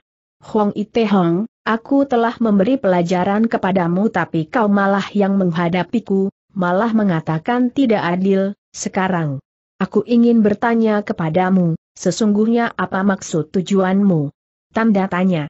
Betul, betul, memang seharusnya kau bertanya secara demikian Hong Ite Hang segera bertepuk tangan keras-keras, Sancu maksud tujuanku sangat sederhana yaitu merepotkan Sancu untuk mengadakan pertukaran secara adil denganku. Mao Tin Hang seperti enggan banyak berbicara, dia hanya berkata singkat. Teruskan. Sambil tertawa cekikikan Hong Ite Hang berkata, Aku sudah kehilangan tenaga dalamku, Sancu, untuk melepaskan keleningan harus dicari orang yang mengikat keleningan tersebut. Inilah sebabnya aku ingin mempergunakan obat penawar dari pil pelemas tulang itu dengan kepandaian silaku yang telah punah. Aku tak dapat memenuhi keinginanmu itu. Oh, oh, oh Sancu enggan melakukannya atau benar-benar tak mampu melakukan Mao Tin Hang tertawa getir. Au tak mampu melakukan bukannya enggan melakukan, coba bayangkan saja seluruh tubuhku lemas tak bertenaga, bagaimana mungkin hawa murniku bisa dihimpun untuk menembus jalan darahmu. Belum selesai dia berkata, Hong El Hang sudah berkata pula. Itu mah bukan soal penting, asal kau menyetujui akan ku berikan dengan segera obat penawarnya dan aku pun bisa memperoleh kembali tenaga dalamku untuk membantu menembusi jalan darahku. Mendengar perkataan ini, diam-diam Mao Tin Hang tertawa kegirangan, namun di luarnya dia tetap berkata sambil tertawa dingin. Hee, hee, hee, kau anggap aku akan percaya? kau akan memberi obat penawarnya kepadaku? Memangnya kau tidak khawatir? Tidak khawatir, tidak khawatir, ada kalanya kita memang meski percaya dengan musuh, seperti apa yang sedang kuhadapi sekarang. Kemudian setelah berhenti sejenak, dia berkata Iebi jauh. Tentu, saja, agar Sancu bersedia untuk membantuku dengan sepenuh tenaga, sebelum Sancu menelan pil penawar racun itu, aku Mohon agar Sancu bersedia meneian dulu sebutir pil Kyo Yang Wan. Mendadak Mao Tin Hang melompat bangun, kemudian bentaknya dengan penuh kegusaran. Sesungguhnya berapa banyak obatku yang telah kau curi haah, haah, haah, tidak banyak, tidak banyak, cuma tiga. Macam itu saja. Manis sekali perhitunganmu, bila ku telan Kyo Yang Wan tersebut, Api racun yang membara akan membuat tenaga dalamku berlipat ganda hingga poan hiatmu bisa ku tembusi, tapi aku sendiri. Huang Ite Hang tahu apa yang hendak diucapkan Mao Tin Hang sambil menggelengkan kepalanya dia menyela. Tidak usah terburu nafsu Sancu, aku pasti akan menyerahkan obat pemunahnya untukmu. Mao Tin Hang mendengus. HMM, Sampai waktunya tenaga dalamku sudah tak mampu menyamai keadaanku sekarang. Betul sekali, dia berkata, kembali Kong Ite Hang menyela, harap Sancu jangan lupa, sekarang kau sama sekali tak. Bertenaga mengapa tidak Sancu pikirkan, biarpun tenaga dalammu. Berkurang tiga bagian, toh jauh lebih baik daripada tak berkekuatan lagi. Mendengar sampai di situ, Mao Tin Hang segera duduk kembali dan menghela napas. Aaai bila harimau masuk kota, anjing pun berani menganiaya. Hong El Te Hang tertawa terkekeh-kekeh tiada hentinya tanpa menjawab. Dengan wajah serius Mao Tin Hang segera berseru. Tidak. Aku tak mau melakukannya, sebab keadaan tersebut jauh lebih sengsara daripada mati. Sambil menggelengkan kepalanya sekali lagi Hong Ite Hang menukas. Keliru Sancu, kau keliru besar, pepatah bilang asal hayat masih dikandung badan, janganlah gampang menyerahkan dengan begitu saja, seperti misalnya aku, kalau aku ambil keputusan pendek sejak dulu, bukankah aku sudah mati lama sekali? Tergerak hati Mao Tin Hang setelah mendengar perkataan itu, dengan cepat dia mengambil keputusan, tapi dia pun cukup sadar kalau kelicikan Hong Ite Hang tidak berada di bawahnya maka dia sengaja mendengus dan tidak berbicara lagi. Tampaknya Hong Ite Hang tak ingin mengulur waktu lebih lama lagi, dia berkata lagi. Bagaimana Sancu? Aku sedung menantikan jawabanmu. Pelan-pelan Mao Tin Hang mendongakkan kepalanya, kemudian dengan lagak seakan-akan apa boleh buat dia menyaut. Baiklah, bawa kemari obatnya. Huang Ite Hang tertawa terbahak-bahak. Sancu mungkinkah sangat dahaga bukan? Obatnya sudah kusiapkan termasuk airnya. Berbicara sampai di situ, dia membalikan badan dan naik ke atas anak tangga, rupanya di situ telah dipersiapkan air dan botol obat. Botol obatnya terdiri dari dua macam, tak dapat disangka lagi, yang satu berisi obat penawar untuk pil pelemas tulang, sedang yang lain berisikan pil Kyo Yang Wan. Pertama-tama dia membuka dulu botol porselen yang berisikan pil Kiu Yang Wan, kemudian mengambil sebutir pil sebesar kacang kedelai yang berwarna merah darah dan diletakkan bersama di atas meja baka bersama airnya. Kemudian setelah mundur dua langkah, katanya lagi sambil tertawa licik. Silahkan minum obat Sancu. Dengan tangan yang terkulai lemas Mao Tin Hang memaksakan diri untuk menggerakkan tangan kirinya mengambil pil itu, kemudian baru mengambil cawannya. Dalam keadaan sekujur badan tak bertenaga ternyata tangannya gemetar keras sehingga pil itu tergelinding jatuh ke atas meja. Ketika pil itu menggelinding jatuh ke bawah meja, buru-buru Mao Tin Hang memungutnya dengan tangan kanan, Kemudian setelah dilihat sekejap lagi, dia menghela napas dan melemparkan pil tersebut ke dalam mulutnya. Menyusul kemudian dia mengambil air dingin dan meneguknya sampai habis, bahkan kemudian membuka mulutnya lebar-lebar dan diperlihatkan kepada Hong Ite Hong. Hong Ite Bong tertawa licik, sengaja dia menggelengkan kepalanya sembari berkata, Sancu, buat apa kau mesti berbuat demikian? Masa aku tidak percaya kepada Sancu? Kemudian setelah berhenti sejenak dan tertawa seram, dia berkata lagi. Sancu, sekarang kau harus minum obat penawar untuk pil pelemas tulang itu, kali ini aku akan mengambilkan air teh untukmu, harap kau tunggu sebentar aku segera akan turun kembali. Mao Tin Hang menggelengkan kepalanya berulang kali. Huang Ite Hong, sebentar kita akan bekerja di mana? Menurut pendapat Sam Chu Hong Ite Hang balik bertanya sambil mengerdipkan matanya berulang kali. Bila kau tidak khawatir membangunkan Sunio. Dia sedang tidur amat nyenyak, mungkin umuk beberapa saat mendatang dia tak akan mendusin kata Hong Ite Hang sambil mengangkat bahu. Mau Tin Hang mendengus berat-berat, HMM, telah kuduga, andai kata kau tidak berbuat sesuatu dengannya, mustahil kau berani bersikap begini berani kepadaku. Huang Ite Hang tidak menanggapi persoalan itu dia hanya berkata begini. Sancu harap kau tunggu sebentar, tempat ini jarang didatangi manusia, cocok sekali sebagai tempat bersemedi. Mao Tin Hang tidak berbicara lagi, dia memperhatikan Hong Ite Bong naik ke atas anak tangga. Belum lama setelah bayangan tubuh Hong Ite Bong lenyap dari pandangan, Sambil menggunakan sisa tenaga yang dimilikinya Mao Tin Hang mengambil keluar sebutir pil berwarna merah dari antara jepitan tangannya dan cepat-cepat dimasukkan ke dalam saku. Barusan, rupanya dia tidak sungguh-sungguh menelan pil Q yang Wan tersebut, melainkan memanfaatkan kesempatan di kala pil itu menggelinding di meja, tangan kanannya segera mengeluarkan sebutir mutiara kecil berwarna merah yang sama bentuknya dengan obat itu untuk mengibuli lawannya. Kendati pun Hong Ite Hang licik dan banyak tipu muslihatnya, toh ia terkecoh juga. Sebenarnya Mao Tin Hang hendak memakai alasan demi kelancaran bersemedi nanti, dia hendak menipu Hong El Te Hong, membawanya ke atas loteng siapa tahu Kong Ite Hang cukup berhati-hati sehingga tidak terperangkap oleh tipu musihatnya. Selang beberapa saat kemudian, Huang Ite Hang baru nampak muncul sambil membawa sebuah cawan berisi air teh dan segera diserahkan kepada Mao Tin Hong. Mao Tin Hang cukup memahami maksud hati Hong Ite Hong, Rupanya dia sengaja mengulurkan waktu agar pil Kiu Yang Wan yang ditelannya itu keburu bekerja lebih dulu. Padahal Mao Tin Hang tidak sungguh-sungguh menelan pil itu, maka ia dapat bersikap tenang sekali, walaupun di luarnya dia berpura-pura seperti tidak tahan oleh daya kerja obat itu.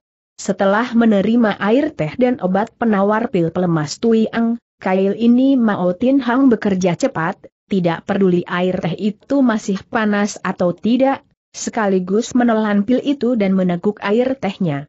Menyaksikan hal tersebut sambil tertawa Hong Ite Hang berkata kepada Mao Tin Hong, Sancu, ada satu hal lupa ku beritahukan kepadamu. Aku pun sudah tahu kalau kau sudah lupa mengatakan persoalan apa, sahut Mao Tin Hang sambil tertawa seram pula. Oh ha, bagus sekali, kali ini Sancu telah bersikap cerdik, tolong tanya perkataan apakah yang sudah lupa ku katakan padamu tadi. Mao Tin Hang tertawa kau lupa memberitahukan kepadaku kalau di dalam pil Kiu Yang Wan tersebut telah ditambah lagi dengan obat-obatan lain, sehingga di dalam bersemedi nanti aku berani melakukan suatu tindakan lain, maka setelah kau mati maka aku pun tak dapat hidup lebih jauh, bukankah begitu? Betul, betul-betul sekali Kong Ite Hang segera bertepuk tangan sambil memuji. Sancu memang tetap seorang Sancu, Bagaimanapun juga aku harus mengagumi dirimu. Sambil tersenyum Mao Tin Hang menggelengkan kepalanya berulang kali. Tidak, akulah yang seharusnya kagum kepadamu. Coba bayangkan dengan kepandaian silat dan kecerdikanku ternyata aku dapat menerima kau sebagai murid kesayanganku, menganggap kau sebagai orang kepercayaanku bahkan menganggap kau sebagai anak angkatku, tapi akhirnya kau toh sebagai manusia berhati serigala yang tak mengenal budi, Hong Ite Hong, coba bayangkan, bagaimana mungkin aku tidak kagum kepadamu. Hong Ite Hong tidak gusar, malahan katanya sambil tertawa, ucapan ini pun bagus sekali, kita memang benar-benar berasal dari jenis manusia yang sama, wataknya sama, jalan. Pemikirannya pun sama, Selanjutnya kita harus bersikap lebih mesra lagi agar bisa hidup berdampingan beberapa tahun lebih lama. Bagaimana berdampingannya Hong Ite Hang tertawa terkekeh-kekeh.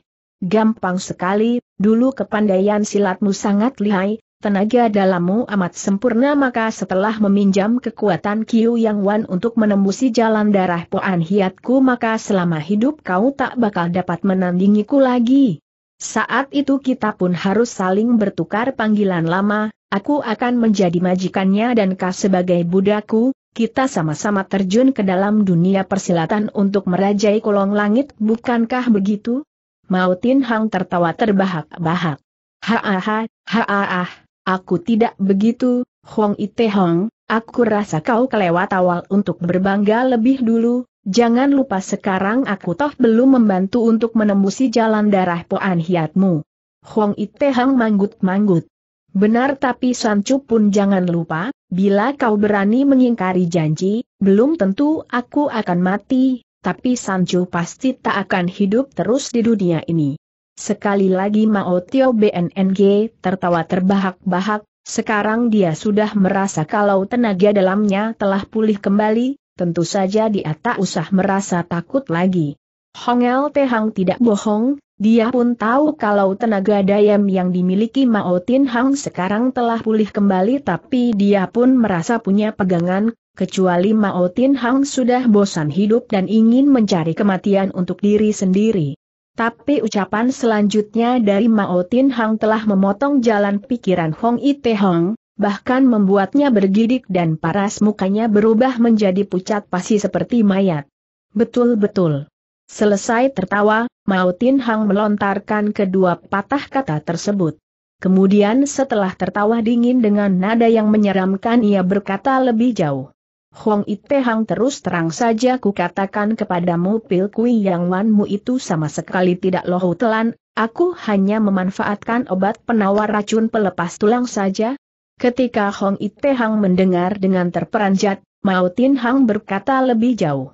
Hektometer, kalau mengandalkan sedikit kemampuanmu itu lantas kau hendak mempermainkan lohu, eh, eh, masih selisih jauh sekali bocah bodoh, sekarang sudah waktunya bagi lohu untuk menganiaya dirimu. Gemetar keras sekujur badan Hong Et Hang karena ngeri, katanya kemudian. Tiwi, tidak mungkin, aku, aku menyaksikan kau menekan pil itu. Mao Tin Hang merogoh ke dalam sakunya dan mengeluarkan pil Kiu yang wan tersebut lalu sambil diperlihatkan kepada lawannya, dia berkata, Pentangkan mata anjingmu lebar-lebar dan perlihatkan ini dengan jelas. Huang Ite Hang begitu dapat melihat jelas, segera mundur lagi beberapa langkah. Sekarang dia sudah berada dekat dengan anak tangga menuju ke loteng. Sambil tertawa seram Mao Tin Hang segera berseru. Huang Ite Hang yang tak berguna, sekarang asal lohu menggerakkan tanganku maka walaupun kau berada beberapa kaki jauhnya pun akan tertangkap juga, lebih baik bersikaplah lebih alim dan cepat berdiri baik-baik di hadapanku. Huang Ite Hang mundur lagi, tangannya sudah meraba di atas anak tangga. Sambil tertawa seram Mao Tin Hang segera membentak, tampaknya sebelum melihat peti mati, kau tak akan mencucurkan air mata, baik, aku akan menyuruh kau rasakan kelihayanku. Sambil berkata dan menyentilkan jari tangannya ke depan, segulung desingan angin tajam segera menyerang tangan kanan Hong Ite Hang yang berpegangan pada anak tangga hingga kelima jari tangannya hancur berantakan. Hong Ite Hang menjerit kesakitan, dia segera membalikan badan dan sekuat tenaga melarikan diri ke atas loteng. Tentu saja Mao Tin Hang tidak membiarkan dia kabur ke loteng, tubuhnya berkelebat ke depan dan tahu-tahu sudah sampai di belakang punggung Hong Ite Hong, begitu dicengkeram dia segera melemparkan tubuh lawannya ke sisi kanan meja baka dekat patung. Terlentang di atas lantai, Hong Ite Hang menjerit kesakitan seperti babi mau disembelih, jeritan ngerinya kali ini berkumandang sampai di luar loteng sana. Sambil tertawa dingin Mao Tin Hang berjalan mendekati Hong Ite Hong, kemudian serunya. Ayo cepat bangun. Hong Ite Hang meronta bangun dan mundur dengan ketakutan, ketika tubuhnya menyentuh patung manusia di belakangnya mendadak satu harapan melintas dalam benaknya. Pada saat itulah orang-orang yang berada di luar loteng telah berhasil mencapai di luar dinding ruang. Yang muncul tidak banyak, mereka adalah Santiong Lo, Boji Hauji, Jin Jin dan Mo Kiao Jiu. Sebenarnya mereka tidak berniat mendekati tempat tersebut, tapi dua kali jeritan ngeri itu membuat mereka harus mendatangi tempat tersebut lebih awal. Dengan paras muka berubah hebat dan kening berkerut Mo Kiao Jiu segera berseru. Tidak menjadi masalah, Jisau Hiap, harap ikuti aku, mari kita masuk ke dalam. Masuk? Apakah masih ada pintu-pintu lain? Ada, di loteng dan perkampungan ini, terus terang saja aku menguasainya penuh, sebab akulah yang membangunkan tempat ini sebagai tempat pertapaan seorang jago persilatan yang berilmu tinggi. Agaknya majikan tua tempat ini mempunyai maksud lain, dia berpesan kepadaku agar membuatkan pintu rahasia lain tanpa diketahui oleh jago yang bertapa di sini, dan hari ini. Baik, mari kita masuk. Belum habis dia berkata, mendadak tangga berputar itu terangkat ke atas dan muncul sebuah pintu rahasia, San Tiong Lo sekalian tahu-tahu sudah berada di ruang dalam loteng itu. Motin Hang dapat mendengar pula suara bergesernya anak tangga, ketika dia berpaling dan melihat jelas kemunculan San Tiong Lo sekalian, ia menjadi terperanjat dan untuk beberapa sit lamanya berdiri tertegun di situ. Di saat Mao Tin Hang sedang tertegun itulah Hong Ite Hang berteriak secara tiba-tiba. Mao Tin Hang hari ini kah sudah ditakdirkan untuk mampus. Karena teriakannya itu, tanpa terasa Mao Tin Hang berpaling ke belakang. Mendadak saja Hong Ite Hang menggerakkan tangan kirinya menekan ikat pinggang patung manusia di belakangnya. Dari mulut, metu dan hidung patung manusia tadi segera memancar keluar lima gulung pancuran air yang segera memancar ke muka. Kebetulan sekali Ma Otin Hang berdiri di hadapannya dalam jarak tak sampai dua depa, dalam keadaan tak siap apalagi sedang gugup bagaimana mungkin dia dapat menghindarkan diri. Tak ampun lagi sekujur badannya dari kepala sampai kaki tersembur air tersebut. Tiba-tiba Mao Tin Hang melompat-lompat sambil menutupi wajahnya dan lari ke sana kemari seperti orang gila, mulutnya berteriak-teriak dan menjerit seperti babi disembelih, kematian seperti ini tentu saja membuat semua orang tertegun. yang memahami keadaan tersebut hanya Mo Kiao Jiu seorang, sambil menggelengkan kepalanya berulang kali dia berkata. Ia terkenai racun penghancur tulang, mustahil Mao Tin Hang dapat hidup lebih jauh bahkan jenazahnya akan hancur tak berbekas. Ucapan itu memang tak salah, Tak selang berapa saat kemudian tubuh Mao Tin Hang telah berubah menjadi separuh badan ditambah separuh gumpalan air berbau busuk. Tapi Hong Ite Hang yang menyemburkan air beracun itu pun tak dapat lolos dari kematian, tapi sebelum kematiannya dia sempat memberitahukan di mana Sunio berada, sehingga Mo Kiao Jiu pun dapat berkumpul kembali dengan putrinya. Sampai di sini pula kisah bukit pemakan manusia ini, Sampai jumpa di lain cerita. Tamat.